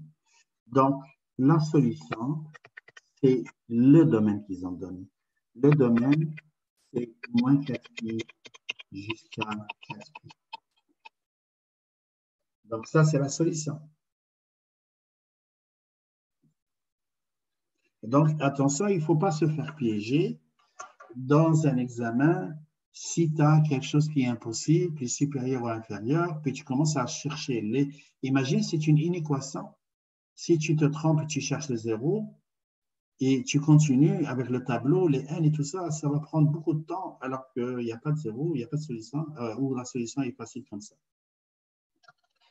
Bon, ça c'est fini. Donc, monsieur, chaque fois qu'il n'y a pas de solution, on doit le mettre comme ça? Oui. À chaque fois qu'il n'y a pas de zéro.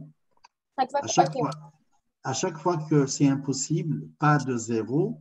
Mhm. et, bien sûr, tu dois dire pourquoi il n'y a pas de zéro. Moi, je l'ai dit ici. J'ai dit parce que le cos est compris entre moins 1 et 1. Si, si c'était le signe, c'est identique. On dit que le signe est compris entre moins 1 et 1. Après, quand il n'y a pas de zéro, il faut prendre l'inéquation et étudier l'équation telle qu'elle.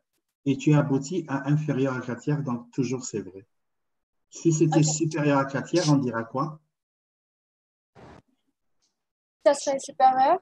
Si c'était cos 4x plus plus sur 3, supérieur à 4 tiers. L'inéquation, ils l'ont donné comme ça, supérieur à 4 tiers. Qu'est-ce que je donne comme solution? Euh, ben, ça fait la même chose, non? Non, supérieur à 4 tiers. Est-ce que 4 tiers, c'est 1,33, c'est ça? Mm-hmm. Est-ce qu'un cos peut être plus grand que 1,33? Euh, non. Non. C'est quoi la limite du cos? Il doit être entre moins 1 et 1. Ah, donc, il ne peut pas être supérieur à 4 tiers. Ah. Donc, tu dis impossible. Impossible. Et la solution, ça serait quoi? Euh, la solution, ça serait l'intervalle qu'ils ont donné au début? Non, parce que c'est impossible. C'est impossible. Il n'y a pas de zéro, il n'y a pas de solution. Mais en bas, vous avez mis une solution égale à bel intervalle. Mais, parce que c'est possible. Parce que le cosinus est plus petit que la tiers, c'est vrai ici. J'ai mis vrai pour tout x appartenant à OK. OK. Cos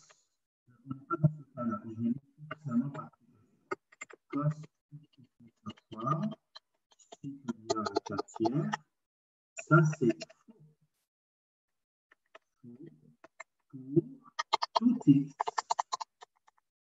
appartenant Donc, ça, c'est faux. C'est jamais vrai. Donc, c'est impossible qu'un cos soit sûr. Donc, qu'est-ce qu'on dit? Solution égale à l'ensemble vide. C'est ça qu'on doit faire. Solution égale à l'ensemble vide. C'est bon? OK. Ah oui, c'est bon. D'accord, merci.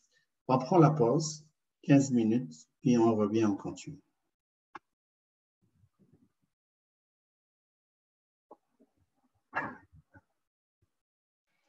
Monsieur, oui. que euh, vous pouvez refaire un exemple d'identité trigonométrique, mais juste me montrer, genre, à chaque fois, c'est quelle propriété que vous utilisez Parce qu'à chaque fois, parce que je re-regarde dans mon cahier et je me perds et je ne sais plus. Avec les identités mais je, mais, je, le dis. À chaque fois, je le dis. Parce que si je commence à, écrire, ça devient encombrant. Donc, je le dis, je dis 1 moins sinus au carré, c'est identité pythagoricienne égale à cos au carré. Et puis, je dis tout le temps. Et je dis, par exemple, euh, n'importe, 1 plus tan au carré égale à 5 au carré. Mais genre, par exemple, 1 plus sin x, c'est quelle propriété Il n'y a pas. Il n'y a, pas. Il n'y a pas. Il n'y a pas 1 plus sin x. Ni 1 plus sin x, ni, ni 1 plus sin x au carré. Ni 1 plus sin, sin x au carré, il n'y a pas aussi. D'accord. Euh, ok. Bah, c'est correct. Merci.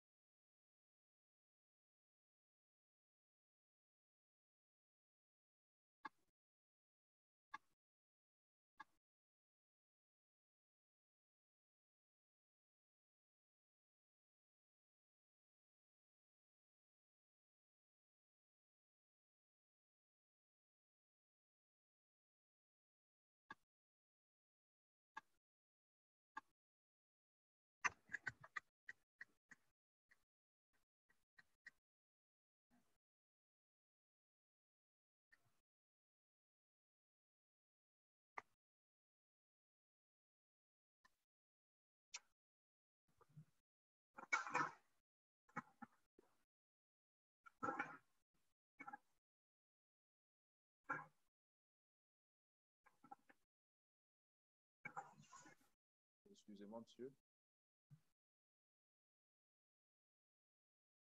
Monsieur. Allô? Allô, oui. Oui, c'est juste pour vous demander, euh, les exercices que vous faites là, c'est des exercices comme ça qu'on va avoir demain pendant l'examen Zoom? Oui, Ok, l'exercice qui ressemble comme ça. ok, avec des identités et tout comme ça. Il y aura Ah, des oui. cas particuliers comme celui-là, ou est-ce que le COS, il marche pas? Ben non, mais je peux pas, je peux Ah, pas dire est-ce que le cos marche pas ou le cos marche, mais oui, tout ce que je fais, c'est à peu près, euh, c'est ce que vous aurez dans l'examen. Je peux pas donner, je peux pas donner des modèles différents complètement là, c'est juste ça. Mais vous aurez des exercices à choix de réponse. Mhm. C'est bon? Merci beaucoup. De rien.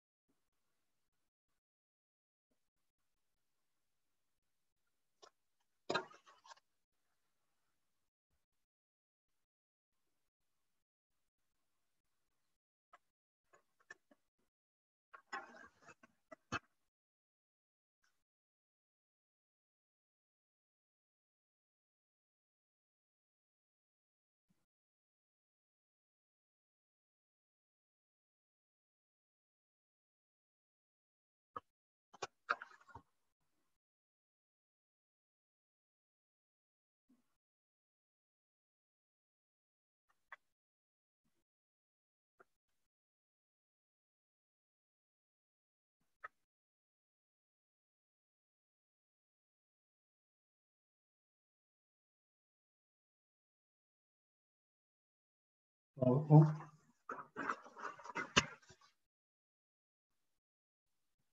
OK. Et 46, on reprend. Donc, il reste un dernier exercice dans ce document euh, que je vais copier ici.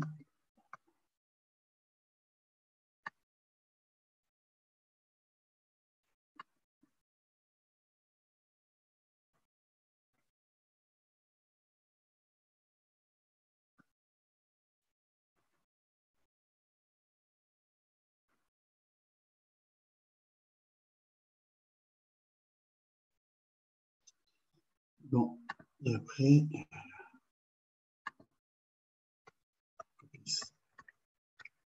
n'y aurait pas de place ici, impossible. Je rajoute une autre page.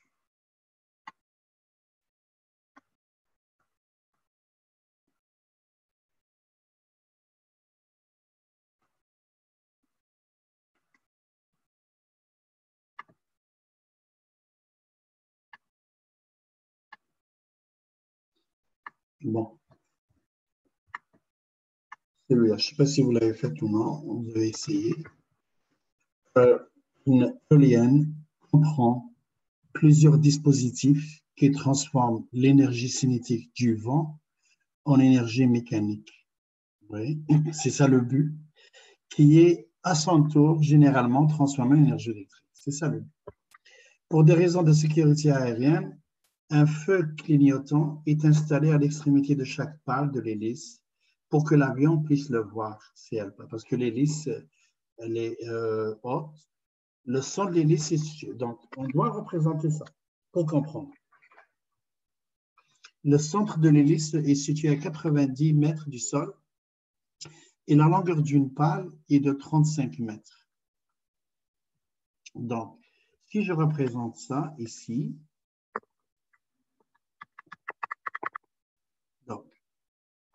je, représente, pour ne pas compliquer le schéma, je représente juste par un pilon comme ça. Le, le centre de l'hélice est, là. Et supposons que ça, c'est une hélice. Donc, bien sûr, l'hélice, elle a, elle a plusieurs pales. Je représente quelques-unes. Comme ça. Supposons que c'est comme ça. Bon, ils ont dit, le centre de l'hélice est situé à 90 mètres du sol. Donc, lui, c'est ça. 90 mètres du sol. Et la longueur d'une pale est de 35 cm. Une pale mesure 35 cm. On observe le feu clignotant de l'une des pales Et on, donc, on observe le feu clignotant d'une de pâle. OK. Considérons qu'on observe le feu clignotant de celle-ci. Donc, ici, le feu clignote rouge, par exemple.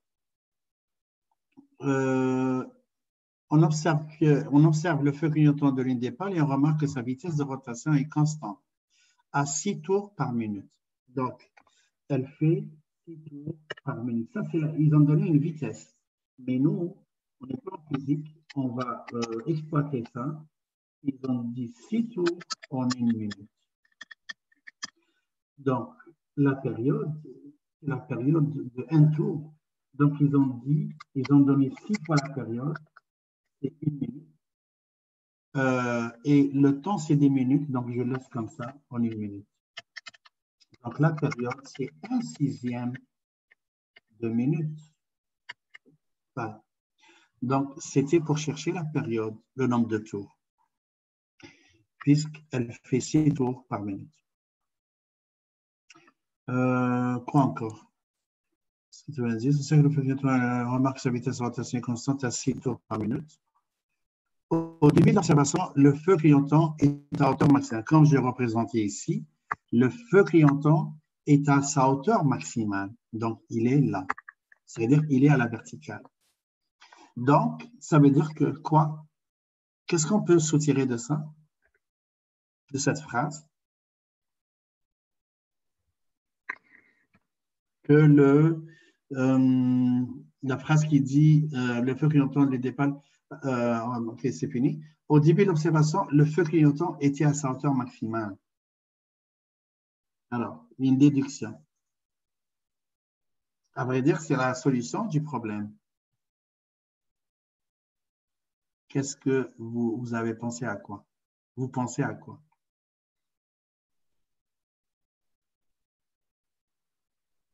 Pensez à rien? Si je vous dis que au début de l'oscillation, le feu clignotant, le point rouge, est à sa hauteur maximale. Vous, le traduisez par quoi? En trigo? Rien? Est-ce qu'on peut dire que la fonction est casse parce qu'elle parce qu'elle commence avec un maximum? Exact. C'est bon, Ginette. La fonction commence par un max parce que euh, ils l'ont dit. Ils ont dit qu'au début de l'oscillation, le point le plus haut est au max. Donc, cette phrase-là, elle est importante. Donc, à t égale à 0, à x égale à 0, à x le, le, le, point est à, est à son max. Le, feu clignotant est à son max. Donc, on commence, je l'écris parce que c'est important dans un contexte, on commence par un max. Donc, c'est un cos positif. Et c'est là que ça commence ma, ma formule. Si je ne si sais pas traduire ça, je ne peux pas commencer ma formule. Donc, on va chercher le Y max. Dépendamment où tu prends ton axe des X. L'axe des X, je peux le prendre ici. Si je le prends ici, j'aurais éliminé le, le cas. Mais je peux le prendre ici aussi, l'axe des X, et si je le prends ici, j'aurai un cas. Donc, je peux, je peux le prendre n'importe où. Là. Je vais le prendre ici, par exemple, le, le, cas le plus où il y a le cas et tout ça. Donc, si je le prends, donc l'axe ici, j'enlève cet axe-là. Vous, vous pouvez euh, vous pratiquer, prenez l'axe ici. Alors, qu'est-ce que je vais avoir? Euh, si je le prends ici, le max va changer. Le max, c'est 35 et le min, c'est moins 35. Mais ici, puisqu'ils ont dit 90 mètres par rapport au sol, on va juste l'utiliser. Alors, le max, c'est quoi? C'est 90 plus 35. C'est ça. Et le min, et le min, c'est 90 moins 35. On le voit ici. Ça, de là à là aussi, c'est 35. Cette pale rouge, quand elle descend en bas, quand elle descend en bas ici, elle va être 3, 35 cm en dessous. Donc, le min, c'est lui et le max, c'est lui. Donc, ça, c'est le max et ça, c'est le min. Alors, c'est pareil. Donc, 90 plus 35, c'est 125. Et 90 moins 35, euh, c'est quoi déjà? C'est 45? Non, c'est 55. 55. Voilà. J'ai mon min, j'ai mon max, j'ai ma période, je peux chercher le B. Le B, c'est 2 pi sur un sixième, et ça donne 12 pi. Donc, ce n'est pas la période qui est 12 pi, c'est le B qui est 12 pi. Donc, j'écris ma règle maintenant. Et le H ici, on le prend 0 parce qu'ils ont dit au début de l'oscillation, le feu clignotant se trouve à son max. C'est là qu'on commence à compter. C'est là que ça commence à se osciller. Donc, on prend H égale à 0. Et c'est un cos positif. Donc, on va chercher le A et on va chercher le K, bien sûr. Donc, le A, c'est le max moins le min divisé par 2. 125 moins 55 divisé par 2, et ça donne 35. D'ailleurs, on le voit ici, la pâle, c'est 35. Le K, c'est 125 plus 55 divisé par 2. 125 plus 55 divisé par 2 égale à 90. Et voilà. J'ai ma règle.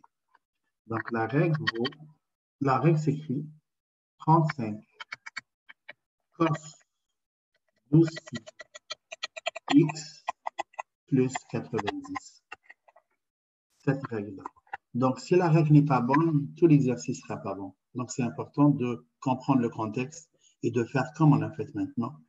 Euh, chaque phrase a un sens. Et euh, une fois que la règle est finie, je m'en vais répondre à la question. Durant l'observation qui a duré deux minutes, vous voyez, maintenant, ils ont dit dans l'observation, donc élément de 0 à 2 minutes, ça veut dire qu'ils ont donné une description. C'est de 0 à 2. Qu'est-ce qui se passe? Déterminer quelle distance a été parcourue par le feu clignotant pendant qu'il était à une hauteur de moins de 100 mètres. OK. Donc, pendant qu'il était à une distance de moins de 100 mètres. Donc, moins de, euh, déterminer quelle distance a été parcourue par le feu clignotant pendant qu'il était à une hauteur d'au moins 100 mètres. OK, donc d'au moins 100 mètres, qu'est-ce qu'on va faire? Euh, je vais chercher, euh, pourquoi ils ont dit quelle distance a été parcourue par le feu? S'ils ont dit quelle distance a été parcourue par le feu, je vais juste tracer pour comprendre. Je vais tracer cette équation, c'est juste pour comprendre pourquoi la question était comme ça. Celui-là, il n'était pas dans l'examen. Hein. Je l'ai rajouté juste en dernier. D'ailleurs, ça se voit que je l'ai rajouté à la fin. Donc, 35, euh, c'est ici.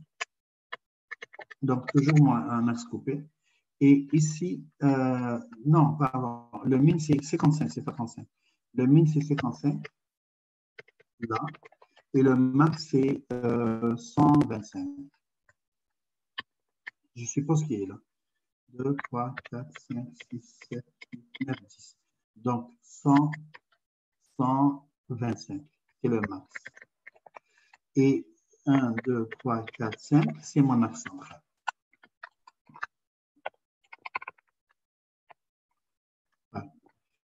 Euh, on commence à h égale à 0. Et euh, la période, la période c'était de 1 sixième. Donc, P égale à 1 sixième. Donc, P sur 4, c'est 1 sixième divisé par 4 et ça donne 1 quatrième. Donc, à chaque fois, on rajoute un quatrième. Donc, je vais faire mes cadrans, comme ça. Donc, ça, c'est pour un tour seulement. Eux, ils demandent pour deux minutes. C'est beaucoup de tours pour deux minutes. Donc, euh, pour, pour juste un sixième, puis après, c'est juste, on, il suffit de multiplier par le nombre. Euh, c'est une fonction cos, donc elle est comme ça.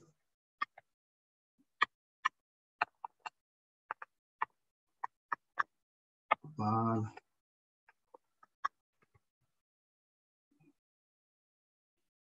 Donc, dans la question, ce qu'il demande de déterminer quelle distance a été parcourue par le feu clignotant pendant qu'il était à une hauteur d'au moins 105 mètres. Donc, au moins 105 mètres, c'est environ là, parce que le, euh, le cas, c'est le cas, c'était quoi déjà? 90. Le cas, c'est 90 et le 105 mètres est là. Comme ça. Alors, qu'est-ce qu'on doit faire?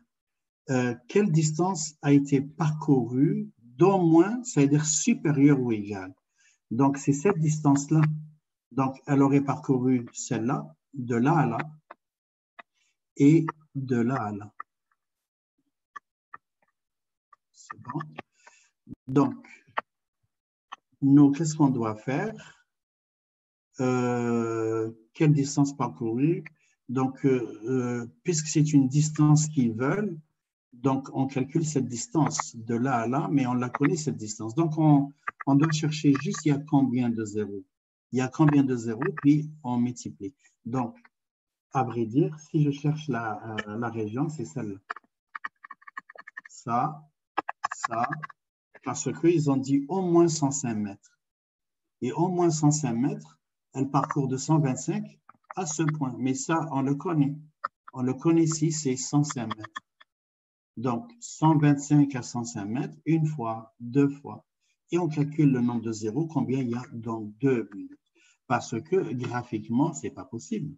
Si tu fais graphiquement jusqu'à deux minutes, imagine, tu as un sixième, un sixième. Donc, euh, un sixième, ça donne deux fois un sixième, ça donne 12. Ça donne 12 comme ça. donc, en deux minutes, j'ai 12 périodes. Donc, si tu traces 12 périodes, je sais qu'on peut le faire graphiquement. Dans 12 périodes, il va avoir 24 distances comme ça. Mais de préférence, on doit résoudre. Est-ce que j'ai de l'espace ici? Non. Alors, je vais prendre notre page, pas grave, puis je reviens dans cette page après. Page 10. Page 10. Monsieur, est-ce qu'on sait déjà euh, c'est quoi, il y a combien de zéros? Non, on, sait- euh, on- sait, on peut savoir juste euh, en, en regardant le nombre de périodes, c'est-à-dire la période, je divise la période divisé par, non, je divise les deux minutes, je divise par la période. Si je fais, j'ai six secondes, juste je transforme ça en PDF. hein, pour que-. Oui, on peut, parce qu'ils ont dit durant deux minutes. Donc, durant deux minutes, durant deux minutes, j'ai combien de, combien de fois, combien de périodes? Je fais 2 divisé par une période? Et ça donne 12 fois. 12 fois. Mais en traçant le graphique, je peux savoir. Mais dans un examen, tu n'es pas obligé de tracer le graphique. Il faut juste résoudre. Donc, 12 fois. Dans une période, je reviens dans le- le schéma de tantôt. Sur une période, euh, le- la pale est en dessus de 105 mètres deux fois, là et là, sur une période. Et j'ai 12 périodes, 12 fois 2, c'est 24 fois. Et la distance de 125 à 105, on la calcule, ça donne 20, donc 20 fois 24 fois. On peut le faire comme ça, mais c'est pas évident comme ça. C'est-à-dire tu n'es pas obligé de tracer, il faut résoudre seulement. Donc, qu'est-ce que je fais? On résout. Euh, alors, je prends mon équation telle qu'elle, 35 cosinus 12 pi x. Donc, 35 cosinus 12 pi x plus 90 doit être supérieur ou égal à 105. C'est ça qu'ils veulent qu'on résolve. Supérieur ou égal à 105. Donc, le 12 px est là. Euh, on résout. 35 cos 12 pi x plus 90 égale à 105. Comme ça. Alors, cosinus 12 pi x égale à 105 moins 90 divisé par 35. Cosinus 12 pi x égale à 105 moins 90 divisé par 35. 3 septièmes. Et 12 pi x égale à cos moins 1 de 3 septièmes. Ça, c'est x1. Et je vais calculer cos moins 1 de 3 septièmes.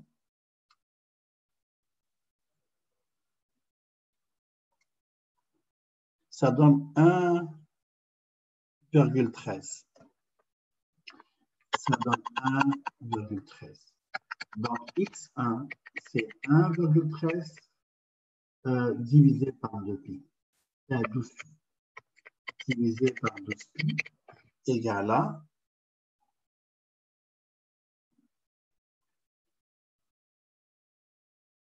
douze et ça donne 0,0299 j'arrondis à 0,03 minutes. Ça, c'est le premier zéro. Je reviens à la classe de PAM ici. 12 pi x 2 égale à moins, qu'est-ce qu'on a trouvé tantôt 1,13. Et après, j'isolise le nouveau. Et ça va donner la même chose, divisé par 12 pi, et ça donne moins 0,03. Maintenant, x1 vaut 0,03 plus np, 1 sixième de n, x2 égale à moins 0,03 plus 1 sixième de n. Alors, et on calcule ça, 0, n, x1, x2. Monsieur, est-ce que vous avez fait pi moins ici? Parce que je ne le vois pas. Non, il n'y a pas pi moins ici. Le pi moins, c'est juste pour le sin. Ah, c'est juste pour le signe. Et le tan aussi? Le tan, c'est pi plus. Pi plus. Ok, merci. Et le cos, c'est moins seulement. Le cos, on fait juste ajouter. Ouais, ok. Moins. Donc, je commence par 0, 1, 2, 3, 4, 6, et on va voir.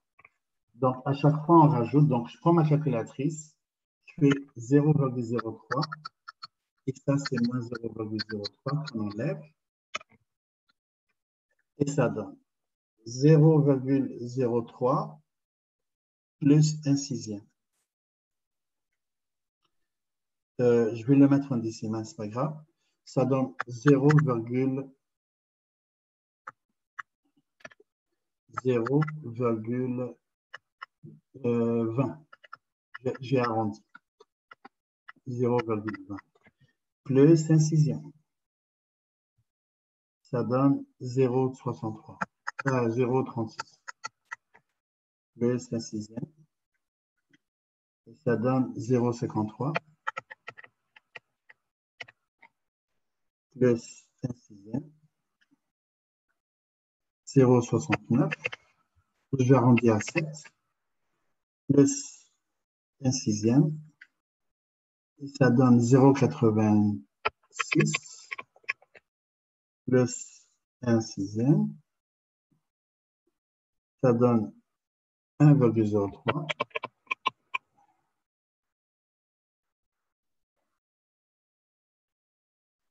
Et ça donne 1,2. Et on continue.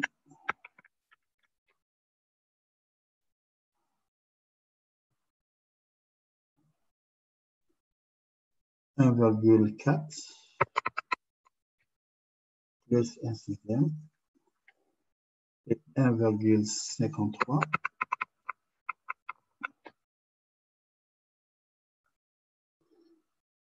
1,7 plus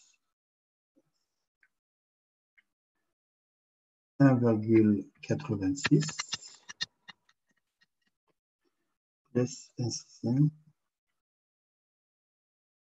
On arrête là. Voilà, ça c'est fini parce que ça dépasse après 2. Donc euh, ça c'est 8, 9, 10, 11. Et pour lui, c'est la, même chose. Donc euh, c'est, euh, je prends moins 0,03, je rajoute un sixième, un sixième, un sixième. Donc euh, euh, moins 0,03 plus un sixième.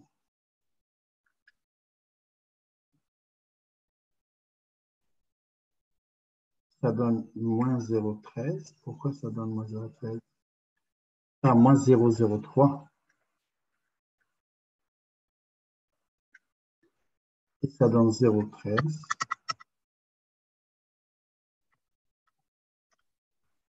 0,14 plus un sixième. Ça donne 0,3 plus un sixième. Ça donne 0,47 plus un sixième. 0,63 0,64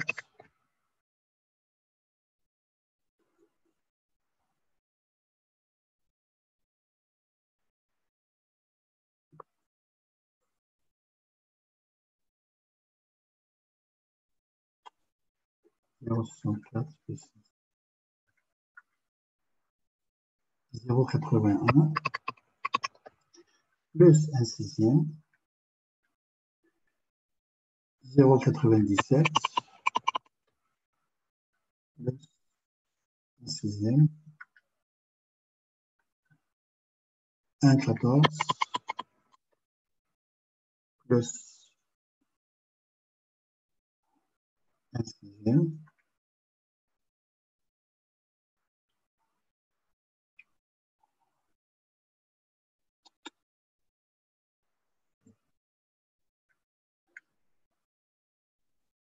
un virgule trente et un. Plus un sixième encore, ça donne un virgule cinq. Plus un sixième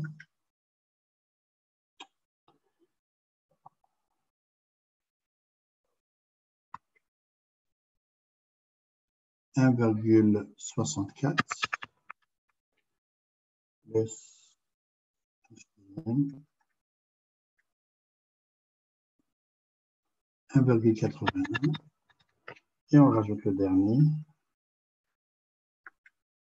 et ça donne 1,97 et c'est fini. On voit bien qu'il y a 12 fois à chaque fois.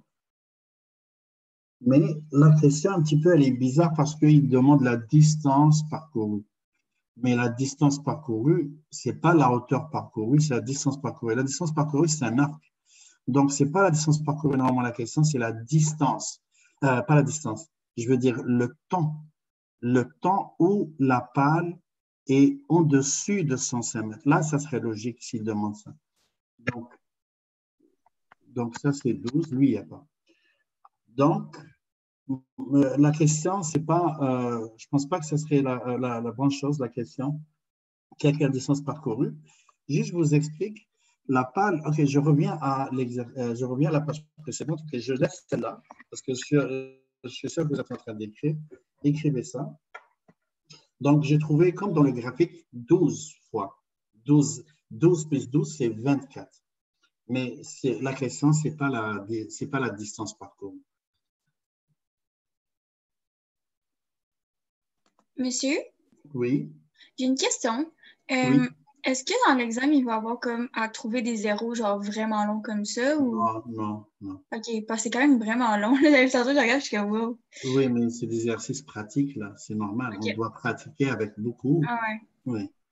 OK.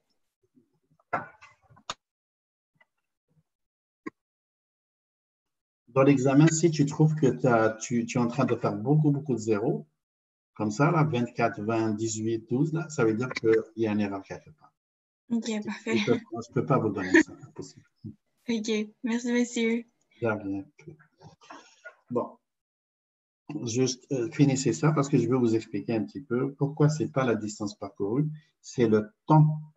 C'est le temps que la pale se trouve, et la durée totale où la pale se trouve, au, euh, euh, se trouve au-dessus de 105 mètres.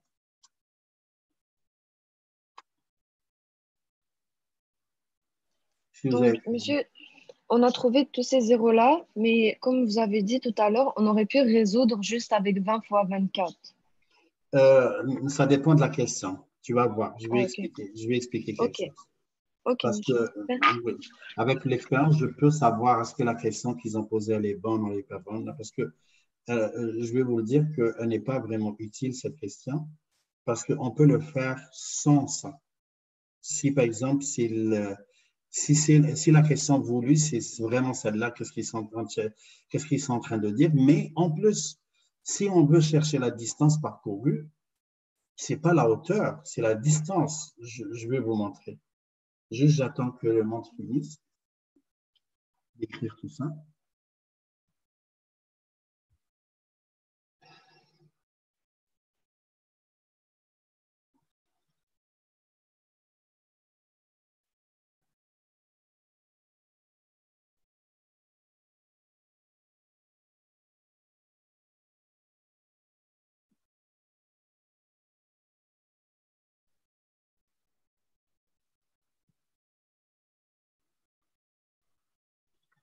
Est-ce que c'est bon, c'est fini ou pas encore? Quelqu'un est en train d'écrire? Personne?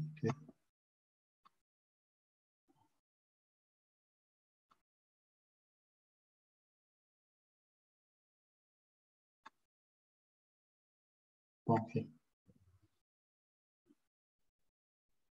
Donc, revenons à l'exercice exactement. Donc, lui. Là, la question que l'exercice a dit, a posé, durant l'observation qui a duré deux minutes, déterminer quelle distance a été parcourue par le feu clignotant euh, pendant qu'il était à une hauteur d'au moins 105 mètres. Donc, d'au moins 105 mètres, ça veut dire dans cette zone-là, ici, j'agrandis un petit peu, ça veut dire ici, dans cette partie-là. Donc, je vais prendre la partie ici, partie mauve, comme ça, pour montrer bien. Donc. Mais la pale, la distance parcourue, la pale fait euh, des euh, secteurs. Si je reviens ici, donc à un certain temps donné, la pale fait ça. Donc ça, c'est un arc. Et nous, on a trouvé, euh, c'est-à-dire à quelle position elle se trouve. Supposons que ça, c'est 100 mètres, euh, 105 mètres. On a trouvé à quelle position? C'est-à-dire les zéros, c'est les positions. Donc, c'est des arcs qu'il faut trouver. Des- la distance parcourue, c'est pas une distance horizontale ou verticale. C'est un arc. Donc, dans le cercle, elle fait ça. Supposons qu'elle est en max, puis elle, elle tourne dans ce bord, elle fait ça. Donc, c'est ça qu'il faut chercher. Mais pour chercher ça, il me faut l'angle θ. Mais ici, j'ai pas l'angle. Je peux le chercher par euh, juste les triangles comme ça, par les, euh, comment on appelle ça, la loi des sinus, la loi des cosinus, parce que j'ai ça, j'ai ça, c'est un triangle isocèle, mais c'est plus la trigo. Donc, ques- euh, donc pas une distance euh, verticale qui cherche, c'est pas la hauteur, c'est pas de là à là, c'est pas de à là, 125 à 105 mètres. Donc, ça, c'est facile à dire. Donc, la question ne peut pas être comme ça. Elle est mal posée. Déterminer quelle distance a été parcourue par le feu. Déterminer la durée totale. Oui. Là, ça devient intéressant. Ça devient de la trigo. Déterminer la durée totale mis par la pale, euh, mis par la pale lorsqu'elle se trouve à une hauteur de mis par la pale ou effectuée par la pale, par la lorsqu'elle se trouve à une hauteur de moins 105 mètres. Donc, la question, c'est celle-là qu'il faut. Déterminer la durée totale. Ce n'est pas, pas la distance parcourue. La distance parcourue, ça n'a pas de sens ici parce que la pale, elle parcourt cette distance-là. Donc, quand elle est au max, puis elle vient au premier zéro à 105 mètres, à 105 mètres, on est là. Donc, la, la, elle fait ça. Euh, je cherche juste un espace où écrire. Donc, la pale, elle fait ça. Donc, elle est à, euh, qu'est-ce qu'on a dit tantôt? 90 plus, euh, on a trouvé le max, c'est 125 mètres. Donc, là, il y a 125 mètres. De là à là, il y a 125 mètres. À vrai dire, c'est juste la pale. Donc, on prend juste la pale, c'est 35. Mais on a besoin de 105. Donc, euh, 90, ça serait quoi? Ça serait 15. C'est ça? 15. Donc, 35 ici et 15 ici. De là à là, c'est 90, c'est-à-dire c'est 105. Donc, c'est bon. Donc, la pale au début, elle est comme ça. Donc, je représente plus avec les triangles.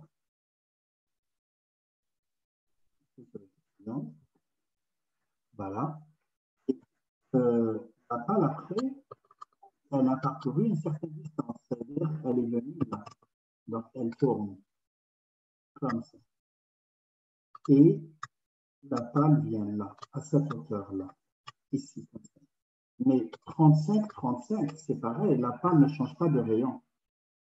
Donc, la distance parcourue, c'est cet arc. Cet arc, elle a parcouru cette distance-là. Mais comment on peut chercher arc Il nous faut cet angle. Ce n'est pas, avec les, pas avec les zéros. Les zéros ici, c'est du temps. Alors, c'est θ. Comment je peux chercher le θ Je peux le chercher juste comme ça. J'ai ici 15, ici j'ai 35, avec ce toi. Donc, je peux chercher. Donc, 15 et 35. Alors, j'utilise quoi? J'utilise cos Cos θ égale à 15, euh, égale à 15 divisé par 35. Je trouve θ. Je vais même vous donner θ, mais ici, il faut, euh, il faut être en degré ici, là maintenant, parce que c'est plus la trigo il faut être en degrés, donc je me mets en degrés. Je suis en train juste de supposer que la question posée par, dans cet exercice est bonne. Supposons qu'elle est bonne. Donc, je regarde cosinus 15 sur 35, je me mets en degrés d'abord. Euh, oui. Voilà, je me suis mis en degrés. Et 15 sur 35, cos moins 1. Cos moins 1 de 15 divisé par 35. Donc, ça donne 64 degrés, 6. Donc, supposons que c'est 64,6. Donc, lui, il aurait parcouru 64,6. Que je vais convertir en radian parce que le, le, secteur, L, c'est R θ comme on a fait au début. R θ. Donc, R θ, c'est euh, le rayon, c'est 35 et 64, je convertis en radian comme d'habitude. On fait 64,6 fois pi divisé par 180. Et je trouve 1,12, 1,13 radians. 1,13 radians.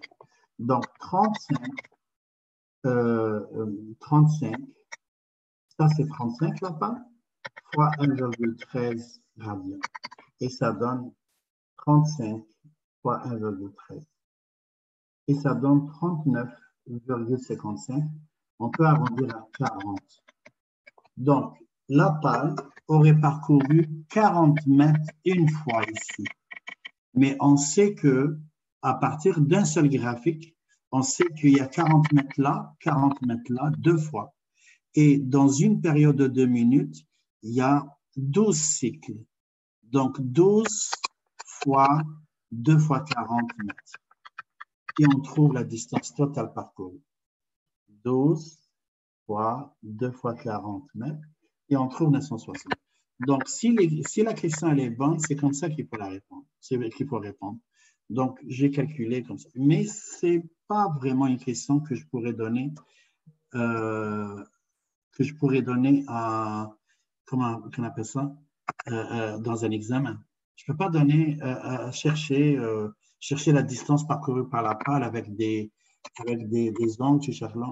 Donc, je change de question. Ça sera plus pratique dans des exercices pareils de dire quelle est la durée totale mise par la pâle pour lorsqu'elle est à une hauteur d'au moins 105 mètres. Là. Là, je reviens maintenant. J'ai mon zéro. Le zéro qu'on a vu tantôt, on l'a trouvé. Je m'en vais dans notre page. Les zéros qu'on a trouvés. Le premier, c'est 0,03. Le deuxième, c'est 0,14. Donc, euh, je dis où? Là. Donc, 0,03, 0,03 et 0,14. Donc, je fais comme ça. Ça, c'est 0,03 et ça, c'est 0,14. Alors, qu'est-ce que je fais? Je cherche ce petit bout-là. Ce petit bout-là, c'est 0,03 de là à là. 0,03, lui aussi, ça sera, 0, ça sera de 0,03. Si tu fais un sixième, parce que tout ça, c'est un sixième, et ici, c'est 0,14,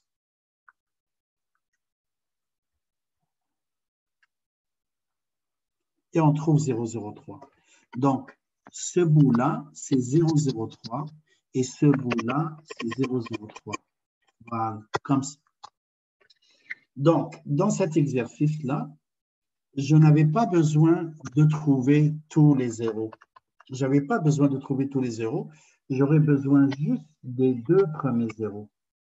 Comme ça. Parce que j'ai besoin de savoir durant combien de temps la pâle, elle est en dessus de 105 mètres. Elle est en dessus, euh, de 105 mètres quand? Ici et ici, pour un cycle. Mais pour une période, j'ai 12 cycles.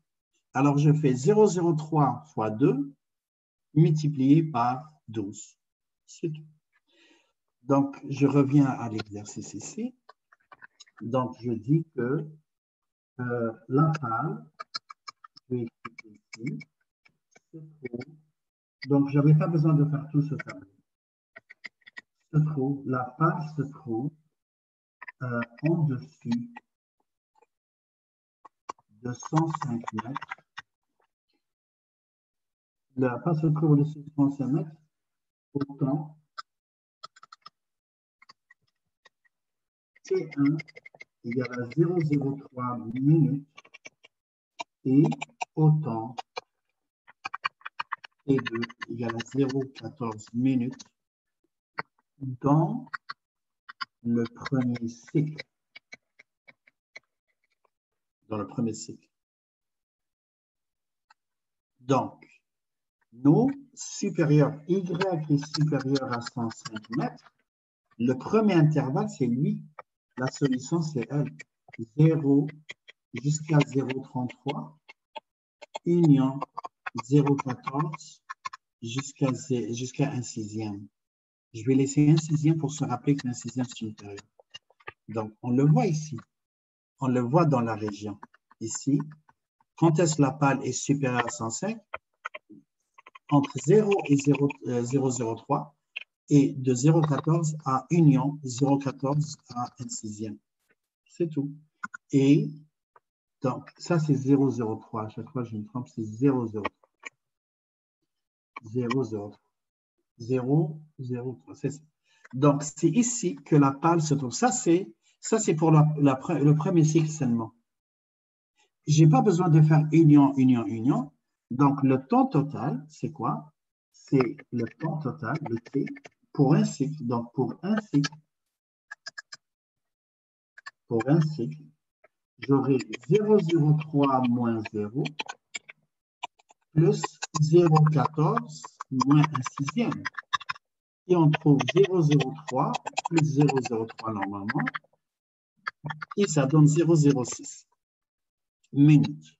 Maintenant, le temps total, le temps total est 0,03, 0,06 fois 12. Pourquoi? Parce qu'il y a 12 périodes. Temps total pour 2 minutes divisé par un sixième, 12 périodes. J'aurai 12 fois 0,06 et ça donne 0,72 minutes.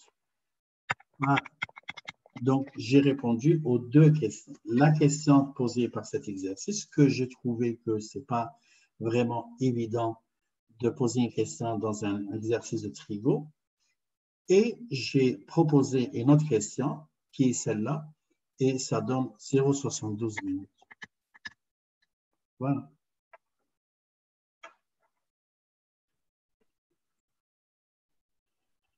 J'ai fini avec le document. Là, maintenant, j'ai beaucoup d'exercices. Là, j'ai euh, depuis euh, des années que je collecte des exercices, que je modifie, je fais des exercices. Je vous ai, je vous ai demandé de faire le, euh, le document supplémentaire, mais je peux faire un exercice ici, celui de, de, des pratiques du livre. On revient au livre et on peut faire l'exercice pour pratiquer aussi plus, parce que dans le document supplémentaire, c'est à vous de le faire maintenant parce que euh, c'est pareil, c'est identité, euh, euh, comment ça, inéquation, équation, c'est un principe. Je peux faire, pour le temps restant, la pratique numéro 7 que j'ai faite l'année passée aussi. Donc, regardez la pratique numéro 7. Les marées de la baie de Fondy.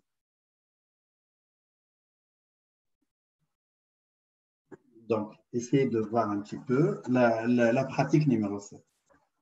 Tout le monde la voit? Vous l'avez? C'est dans quelle partie?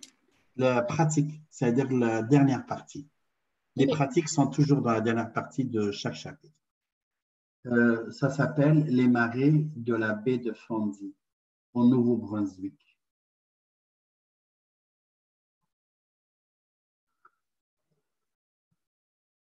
Lisez l'exercice.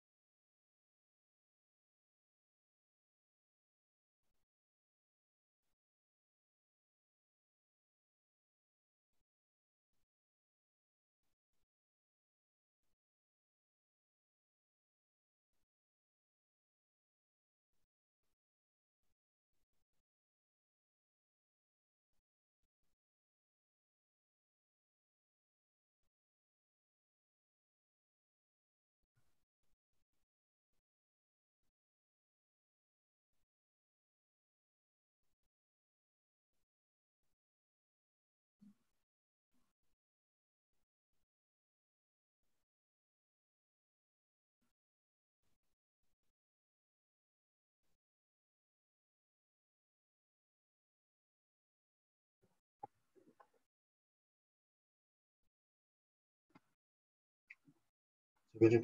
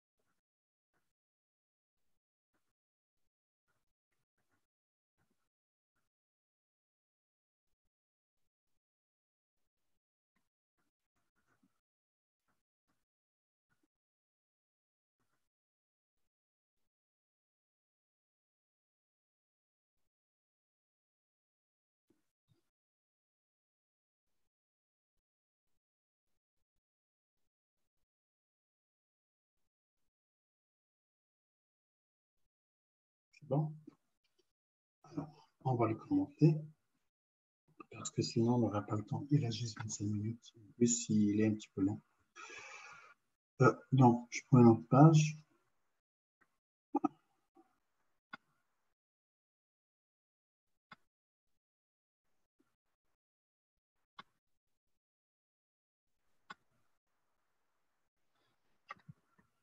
Euh, quoi Je pense. Donc, est-ce que tout le monde a le livre ou vous voulez que je le copie ici? Non, non? Moi, j'ai le livre. Tout le monde.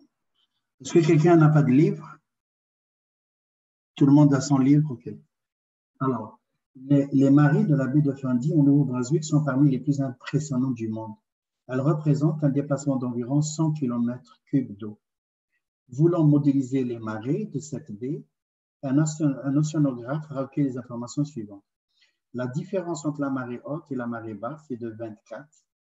Il s'écoule environ 6h15 entre la marée haute et la marée basse. Donc, ils ont dit, la différence entre la marée haute et la marée basse, c'est 24. Donc, euh, marée basse, c'est le min, marée haute, c'est le max, c'est la max. Donc, max moins min, ils ont donné 24. Bon, on va la garder comme ça. Et c'est 24 mètres. Euh, il s'écoule environ 6h15 entre la marée haute et la marée basse. Donc, ils ont donné une demi-période. Marée haute, marée basse, max min, c'est une demi-période. Donc, P sur 2 égale à euh, combien? 6h15. Donc, c'est, je convertis 6h15 en heure, ça donne 6h25. Euh, je n'ai pas besoin de le mettre en minutes, sinon ça devient euh, un gros chiffre. Une marée basse a lieu à minuit. Ah. Donc, qu'est-ce qu'on fait? Euh, la meilleure façon, c'est de tracer. Mais cette tracée-là, il faut que je trace grand un petit peu. Donc, comme ça. Et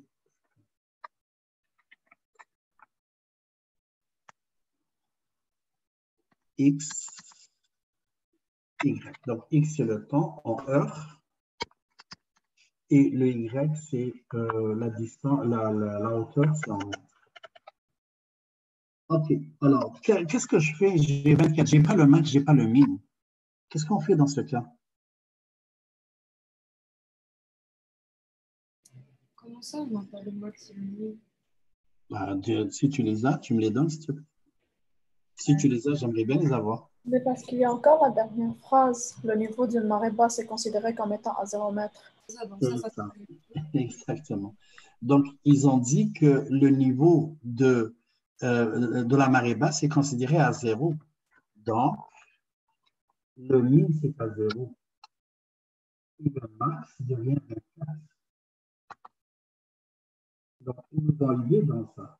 Maintenant, même si nous n'avons pas dit le min est considéré à zéro, donc tu considères le min à zéro, tu rajoutes 24 automatiquement pour ne pas chercher le min. Donc, ici, 1, 2, 3,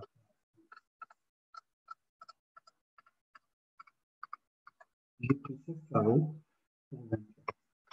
Comme ça, juste pour y aller chercher le milieu. Voilà.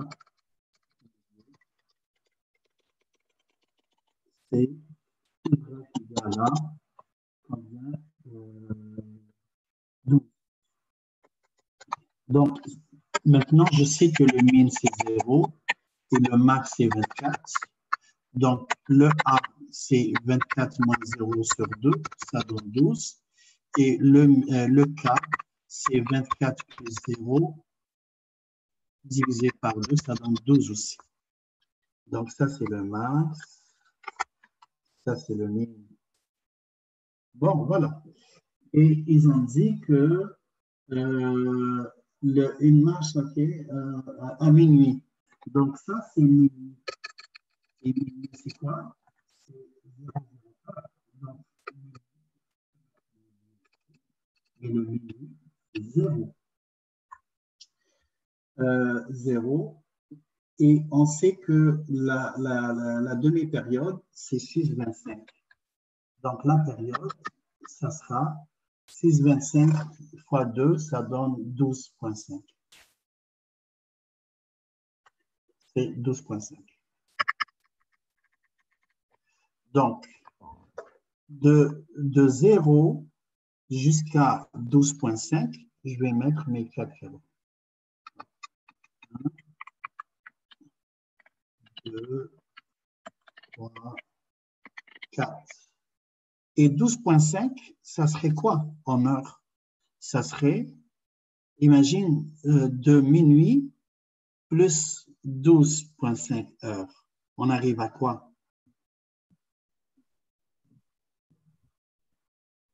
Allez-y. De 0 plus 12,5 heures. Tu arrives à quoi? Non? Tu arrives à 12h30. Parce que c'est 12,5. 0 heure, tu rajoutes 12 heures. Tu arrives à... euh, parce que 0 heure... Attends. 0 heure, c'est minuit. Donc, de, minuit à 6 heures du matin, 12 heures, oui, ça, ça, ça c'est vraiment 12h30. Ici, ou 12h05 pour nous. Monsieur, euh, une, bar- une marée basse a, a eu lieu à minuit. Ça serait pas notre HK? Oui, c'est H. Mais à minuit, c'est 0 heure. De préférence, on n'écrit pas minuit. On n'écrit pas. euh, c'est 24 heures. Minuit, c'est minuit, c'est 24 heures. Mais pour nous, 24 heures, à, à partir de minuit, ça commence 0 minutes jusqu'à 1 heure du matin. Donc, ça commence à 0 et ça serait notre H. Ok. Ils ont dit à minuit, c'est une marée basse. Donc, je vais faire ça. Donc, c'est une cause négative. Voilà.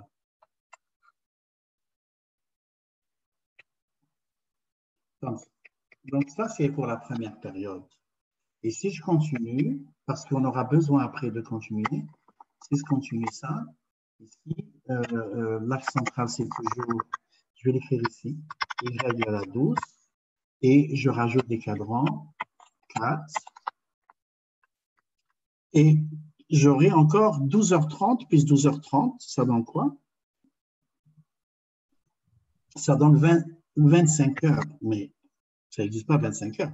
Ça veut dire c'est 1 heure du matin. Pourquoi? Parce que 12 heures, tu rajoutes 12 heures, 30, 12.5. Et 12.5, 12.5, c'est 25. Mais je vais mettre les heures qu'on nous, on connaît. C'est 25, ça veut dire c'est 1 heure du matin. Et je rajoute l'autre.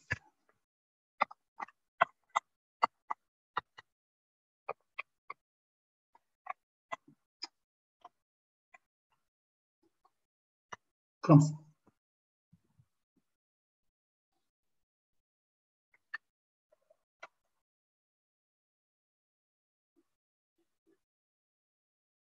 Voilà. Euh, Monsieur, c'est une heure, euh, genre une heure du matin? une heure du matin, oui.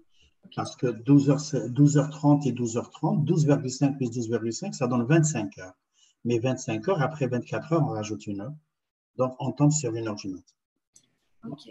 Merci. Pendant la journée, haute, suivant la marée, basse à minuit, à quel moment la hauteur de la marée atteint-elle at- atteint-elle 6 mètres? Donc, on va chercher quand est-ce qu'elle va atteindre 6 mètres. 6 mètres, c'est ici, la moitié. Ça, c'est la première question. Euh, pendant la journée, suivant la marée basse à minuit, à quel moment, euh, un moment, donc on cherche juste une- donc on est obligé de chercher la règle. La on a, on a tous les, les outils pour la règle. Égale à A, le A, on l'a calculé, c'était 12, et c'est une cos négative.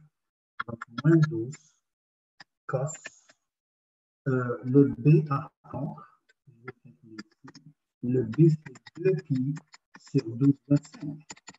Et ça donne quoi 2 pi sur 12,25 euh, 2 pi, c'est pi sur 24, non. Euh, 2 divisé par 12,25. C'est ça. C'est 4 pi sur 24. Pour ne pas avoir un décimal comme ça, Je peux laisser comme ça. Vous pouvez laisser 2pi sur 12.5, c'est c'est un beau chiffre. Mais moi, pour ne pas avoir un décimal, j'ai utilisé ça. Donc, 4pi sur 24, x plus 12. Voilà. Le pas, classique pas 4 pi sur 25. sur 24. Euh, 25, 25, 25. C'est 25, oui. Ma calculatrice dit 25, mais j'ai pensé à 24 heures. 25. Merci. OK. Alors, on met égal à 6 et on résout. Cosinus 4pi sur 25, x égale à 6 moins 12 sur moins 12. Donc, 4pi sur 25, x égale à 6 moins 12, c'est moins 6. Moins 6, j'ai pas moins 12, c'est 1 demi. Donc, 4pi sur 25, x1, x1, x1 égale à euh, cos moins 1 de 1 demi. On est dans le cos. Cos moins 1 de 1 demi, c'est pi sur 3 dans le cercle. Alors, x1 égale à pi sur 3 fois 25 sur 4pi. Alors, pi, pi s'en va et ça donne 25 douzièmes. 25 douzièmes. Donc, c'est ça le zéro. 25 douzièmes. Donc, euh, donc 25 douzièmes, j'ai trouvé mon premier zéro. Mon deuxième zéro, je reviens toujours à la case d'épargne ici. Là. Je cherche le deuxième zéro. 25 x2 égale à moins le 1 demi que j'ai trouvé tantôt. Donc, euh, on a trouvé 1 demi. Ah non, on a trouvé euh, quoi? On a trouvé pi sur 3. pardon. On a trouvé pi sur 3. Donc, ça va devenir moins pi sur 3. Toujours, c'est l'angle original que tu prends. C'est lui que tu dois, l'angle original que tu as trouvé en premier lieu.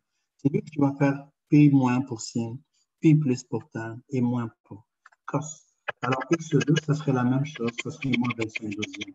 On sait que le temps ne peut pas être négatif, oui, mais c'est juste pour, euh, avec la période, il devient positif. Donc, la période, c'était quoi déjà? C'est 12.5. Alors, je rajoute pour le premier zéro 12.5 n et le deuxième zéro 12.5 n. Donc, je pense que celui-là, c'est le premier. On va voir. Non, c'est celui-là. Tu as vu, c'est le deuxième qui est le premier. Ce n'est pas le premier.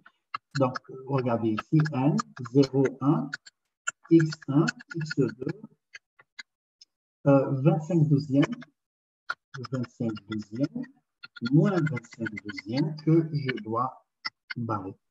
Plus 12.5, alors tu vas prendre moins 25 douzièmes plus 12.5 et ça donne 10,41.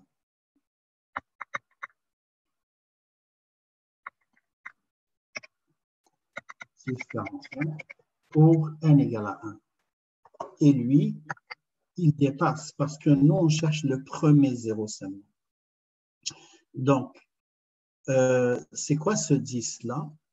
Ça veut dire à 10 heures. À 10h40, 10h41. Ce n'est pas 10h41, ça c'est des heures.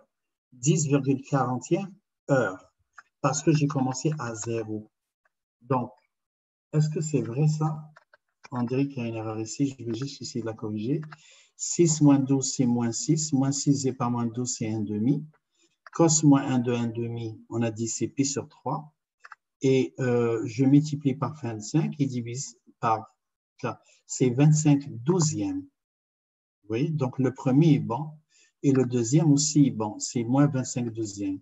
Et la période, on a dit c'est 12,5. La période, c'est 12,5. Et pourquoi ça donne, euh, oui, ça donne 10,41. Donc, ça, c'est 10,41. 10 heures, 11 heures. OK, donc ça m'a donné 10,41. Je vais vérifier après, est-ce que c'est bon? Donc, le premier zéro se trouve à 10,41, à 10h41. Et je vais voir le deuxième zéro. Il ne faut pas qu'il dépasse 2h30. Non, le deuxième zéro, il a dépassé. Le deuxième zéro est dépassé. Juste une seconde, il faut que je vérifie avant de finaliser. Donc, est-ce que ma formule est bonne? Donc, euh, je vérifie. Vous avez vu qu'est-ce que je fais? Je regarde mes zéros et je regarde est-ce que c'est logique. 10, 41. Oui. Les zéros, c'est pas 25 douzième et après, c'est 10, 41 Genre euh, le... Non, non, le, parce que le 25 douzième. Ah, le premier zéro, c'est 25 douzième. Ouais, Donc, le deuxième, ok, ok, oui, c'est vrai. Donc, le 25 douzième est plus petit parce que j'ai vu 25, tu as raison. Donc, le premier zéro, c'est 25 douzième et le deuxième, c'est 10 41. Donc, c'est le 25 douzième que je prends. Et 25 douzième, je dois avoir une idée, c'est quoi? 25 douzième, c'est 2,08. Donc, oui, c'est vrai. Donc, celui-là, c'est 25 douzième. C'est lui qui est égal à 10 41, mais on ne le prend pas, on prend le premier, ah. On prend le premier seulement. Donc, 25 douzième, c'est bon. Et 25 douzième, si on veut savoir euh, c'est quoi le. C'est 2,08. 2,08. Donc, j'ai mon zéro, il est là. Voilà, on a répondu à la première question. Euh, représenter graphiquement l'évolution des marées, c'est ça. Oui.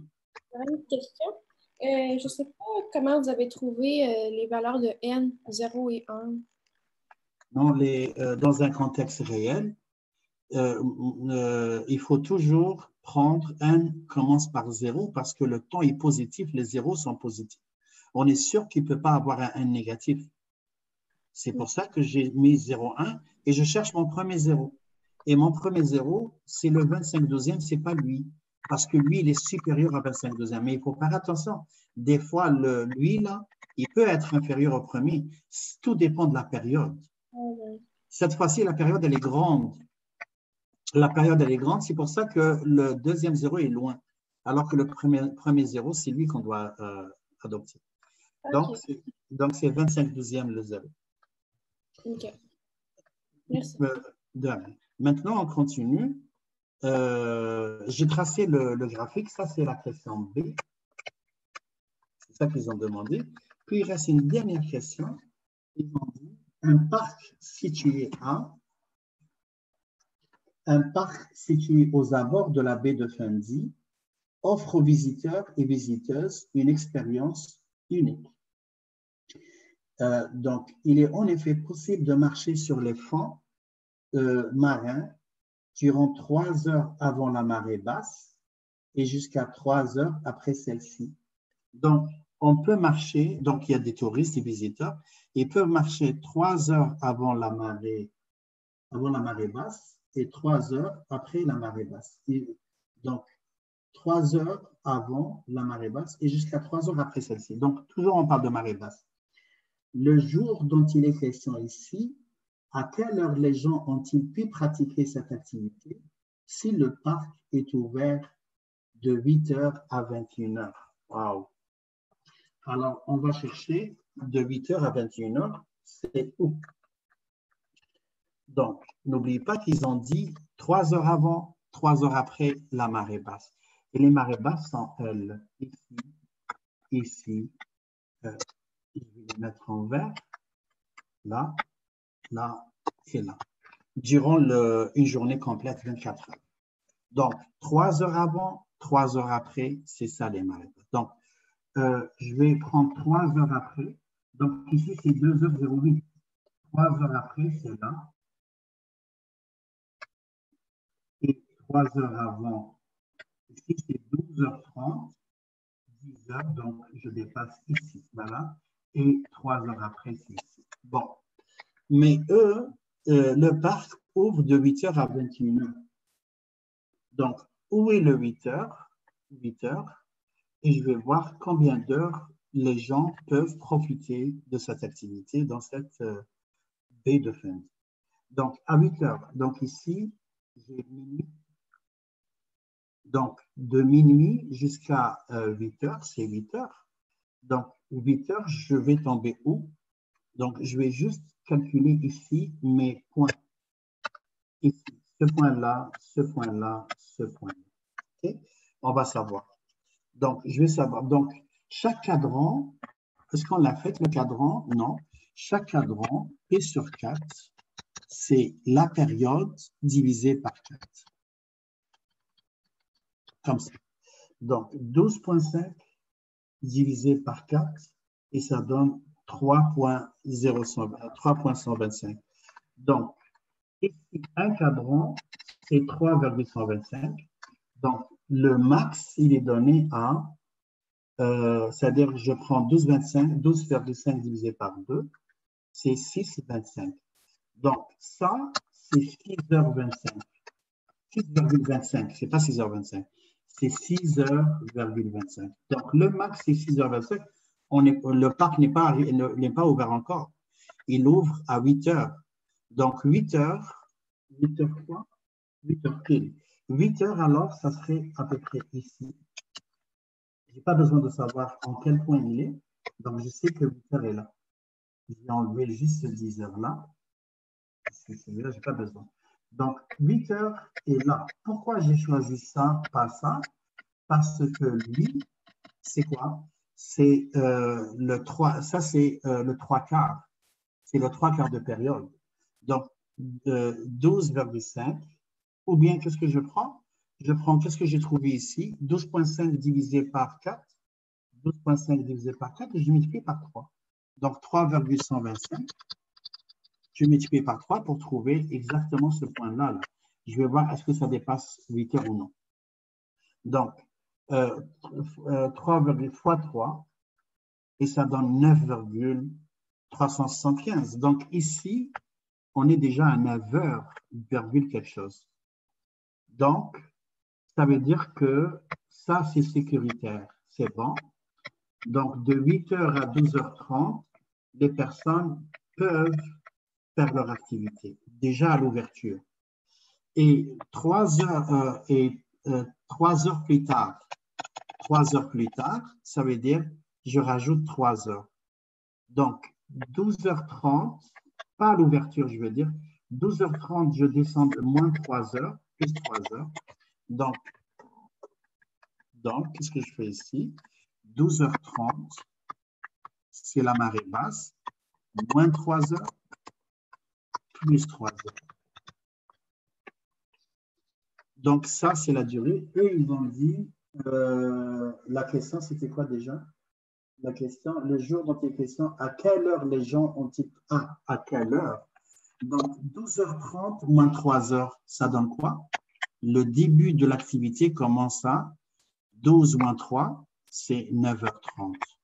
Ils vont commencer à 9h30 et en PM, 12h30 plus 13h30, 12h30 euh, plus 3h, c'est 15h30. Voilà, ça c'est la première partie. Donc, cette activité va s'ouvrir de 9h30 à 15h30 pour la sécurité des, personnes. Là maintenant, je rajoute ici, donc ici j'ai rajouté 3 heures. donc 12h30 moins 3 heures, c'est 9h30. 12h30 plus 3 heures, c'est 13h30 et ça, c'est bon. Je regarde ici. Ici, j'ai 1 heure du matin, j'enlève 3 heures parce qu'ils ont dit 3 heures avant trois heures avant la marée basse. Mais une heure du matin, j'enlève trois heures, ça, devient quoi? Une heure du matin, j'enlève trois heures, donc euh, minuit. Et euh, minuit, j'enlève deux heures, ça donne 10 heures du matin. Donc, ça, c'est 10 heures ici. Après, moins trois heures, ça donne 10 heures. 10 euh, heures du soir, je veux dire. Ça veut dire que c'est 22 heures. Donc, ça, c'est 22 heures. Parce que de là à là, il y a trois heures. Mais 22 heures, ce n'est pas sûr qu'il est là. Hein. Il peut être avant, après. Mais 22 euh, heures, est-ce que le, le, parc est ouvert? Et fermé? Ils ont dit qu'il ferme à 21 heures. Donc, il ferme avant. Le parc ferme à 21 heures. Et le 21 heures, c'est avant le 22 heures. Donc, cette, cette partie-là est inutile. les personnes ne peuvent pas faire leur activité ici. Donc, c'est seulement de 9h30 à 15h30, c'est la réponse. Donc, c'est un exercice un petit peu particulier, mais quand on fait beaucoup d'exercices, on arrive à des exercices pareils. Voilà. J'ai fini avec cet exercice et ça tombe juste midi. Donc, euh, puisqu'ils ont dit trois heures avant, trois heures après, donc la marée basse est lieu à 12h30. Donc, tu enlèves trois heures à gauche, tu rajoutes trois heures, tu trouves les heures, de, les heures où commencent les activités. Bon, j'ai fini. Donc, euh, si quelqu'un a des questions, il peut rester. Pour les autres, demain. Oui, demain, s'il vous plaît. Dès qu'on rentre, dès qu'on rentre, on commence l'examen. Donc, il faudrait, j'attends cinq minutes pour les gens qui ont des petits problèmes techniques de, connexion, puis on, commence l'examen. 1h30, on arrête l'examen et vous commencez à remettre. Et vous ne faites pas comme la dernière fois, vous devez remettre euh, tout de suite. Je, vous ai dit de vous pratiquer avec Office Lens. Si vous avez un autre logiciel, utilisez-le. Mais avec Office Lens, juste euh, faites une capture de, euh, des photos de, de, des feuilles que vous écrivez, des réponses euh, organisées, d'une façon organisée, claire. Vous écrivez clair et organisé, pas des brouillons. Puis remettez-moi euh, en PDF.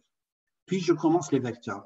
Parce que si je ne commence pas les vecteurs demain, mais vous serez pénalisé après parce que moi, l'examen des vecteurs et trigo, le 5 août, il fait déjà. Il fait déjà. Donc, il faudrait que je finisse les vecteurs. Donc, j'ai enlevé, j'ai enlevé les coniques. C'est quelque chose, c'est la première année depuis que j'ai commencé à enseigner ce cours que j'ai enlevé euh, un chapitre. Jamais j'enlève de chapitre là. Je m'en vais jusqu'au bout. Et euh, jusqu'à vraiment la dernière page du livre. Parce que c'est important la matière de mathématiques de 5 pour le cégep. Très important. Mais je suis obligé d'enlever les coniques. Et en plus, vraiment, les coniques, c'est beau, à, beau comme cours de mathématiques. Là. Si on les a faites, là, vous allez voir, c'est très beau. Mais qu'est-ce qu'on fait? Donc, oh, je ne peux rien faire de plus. Donc, c'est juste, je l'ai enlevé pour ne pas euh, vraiment euh, très condenser et j'aimerais que les notes montent un petit peu. Donc, celui qui n'arrive pas à monter sa note avec la trigo, il reste encore l'examen de trigo vecteur et le dernier examen sur Zoom. Mais ça ne veut pas dire que euh, ça veut pas dire que si tu prends ce cours-là, ça veut dire que euh, à 100% tu dois passer. Tu dois passer, tu vas passer quand tu vas avoir, quand tu passes avec tes notes. C'est tes notes qui vont te faire passer. Moi, je te donne tout pour, tout pour passer. Je réponds à toutes les questions et je parle durant 3h30. Donc, comme j'ai dit au premier groupe, parce que euh, j'ai un courriel d'une élève, il me dit, monsieur, là, je, je coule, je coule et que je, fais quoi pour passer? Je dois faire quoi pour... Non, elle dit, je dois passer. Elle doit passer. Mais oui, passe. J'aimerais bien que tu passes. Je vais te féliciter si tu passes. Mais ce n'est pas moi qui va te faire passer.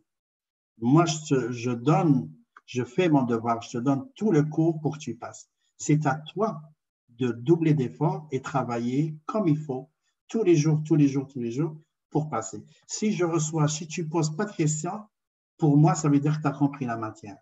Si quelqu'un ne pose pas de questions, ça veut dire si quelqu'un pose des questions puis il fait des exercices, ça veut dire qu'il il est en train de chercher à comprendre. Et ça, c'est bon.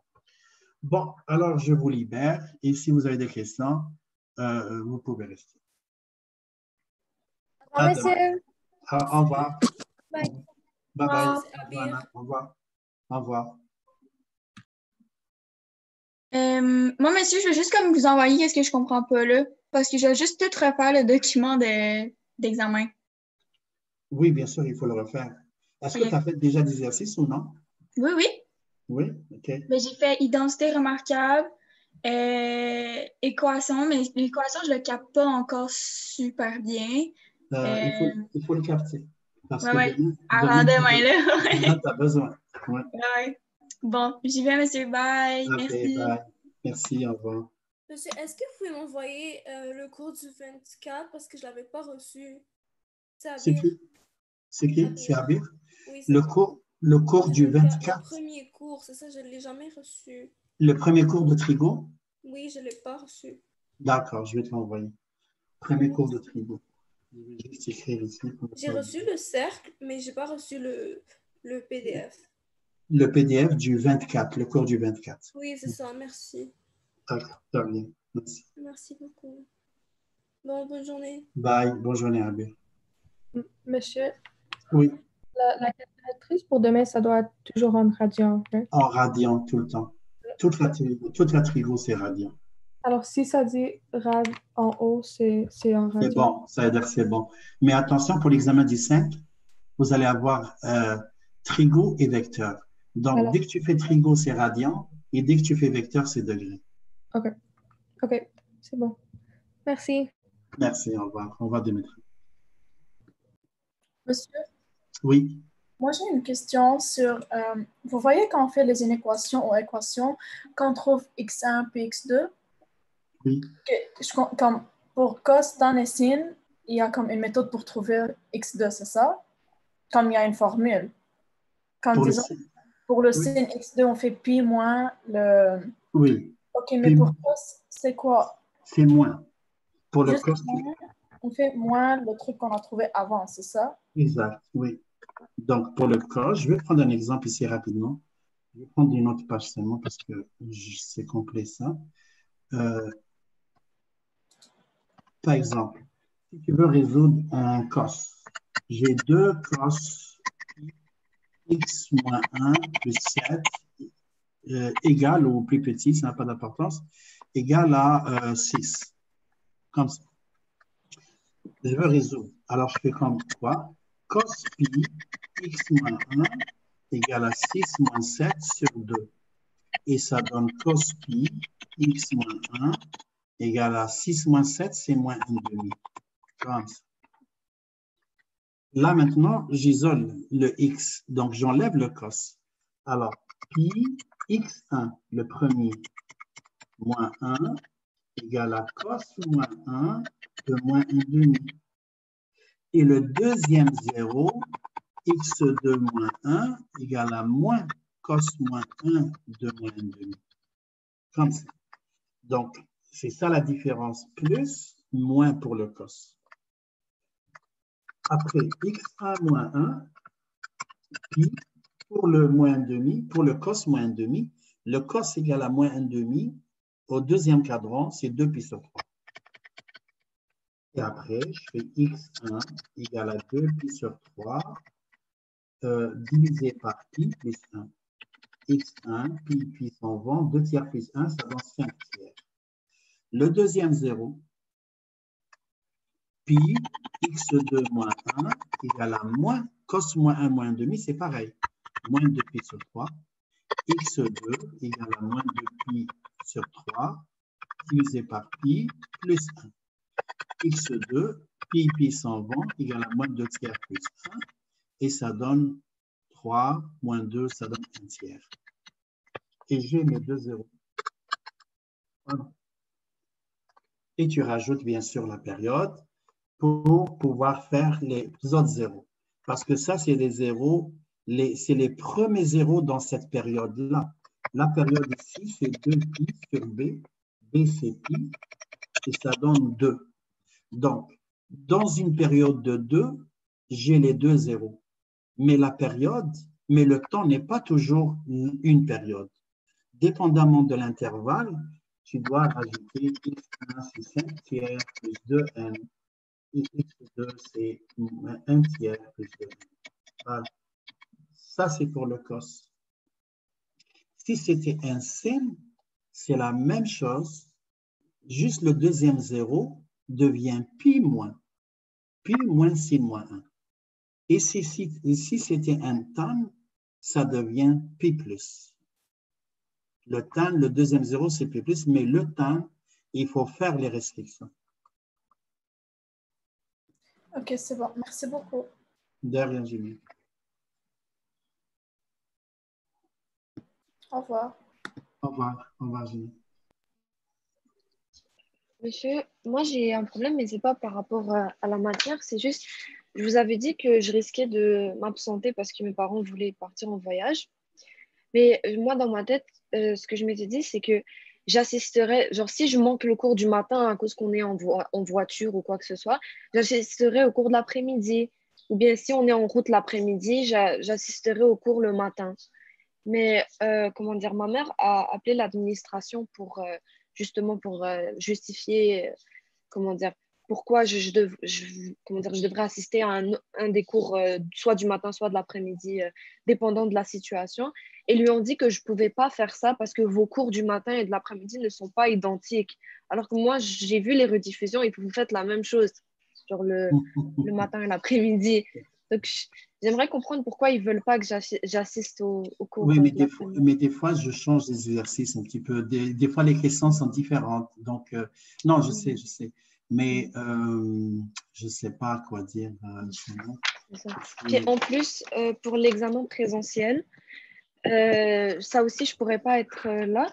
Donc, euh, ma mère a demandé est-ce qu'on peut avoir une autre date d'examen? Je sais que vous m'avez dit que je ferais un autre examen et je respecte euh, totalement ça. Sauf qu'ils ont dit qu'ils ne me donneraient pas une autre date d'examen. Si je ne peux pas être présente au, à l'examen du 5 août, ils vont me faire couler. Je n'ai Oh. pas compris. Est-ce que. Ou non, plutôt, est-ce que je vais couler? En fait, parce que je veux savoir, dépendant de, par rapport à mes notes que j'ai eues avant, est-ce que si je manque l'examen du 5 août, je vais couler euh, le cours? Euh, ça, ils vont te donner un zéro. Ouais, Et, et dépendamment du, de l'examen de demain et l'examen du 7, là maintenant. Si par exemple tu les passes bien, hein, tu ne vas pas couler. Mais si, imagine, tu ne passes pas ces deux examens bien, comment tu fais? Le 5, Ouais. euh, celui de demain et celui du 7. Et le 7, c'est un C1. Euh, je ne sais pas, je vais. Comment ça, et tu euh, as demandé ça? Je ne comprends pas pourquoi il. OK. En tout cas, je vais, je vais essayer de parler avec les personnes d'administration.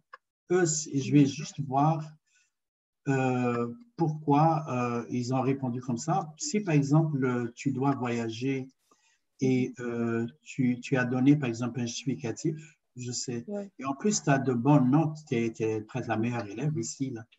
Euh, le groupe du matin, tu es la meilleure élève, donc euh, on ne peut pas discuter vraiment beaucoup de ça.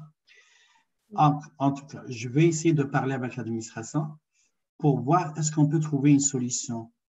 Toujours, je cherche toujours une solution qui peut aider les élèves. Exactement, c'est la même chose pour moi.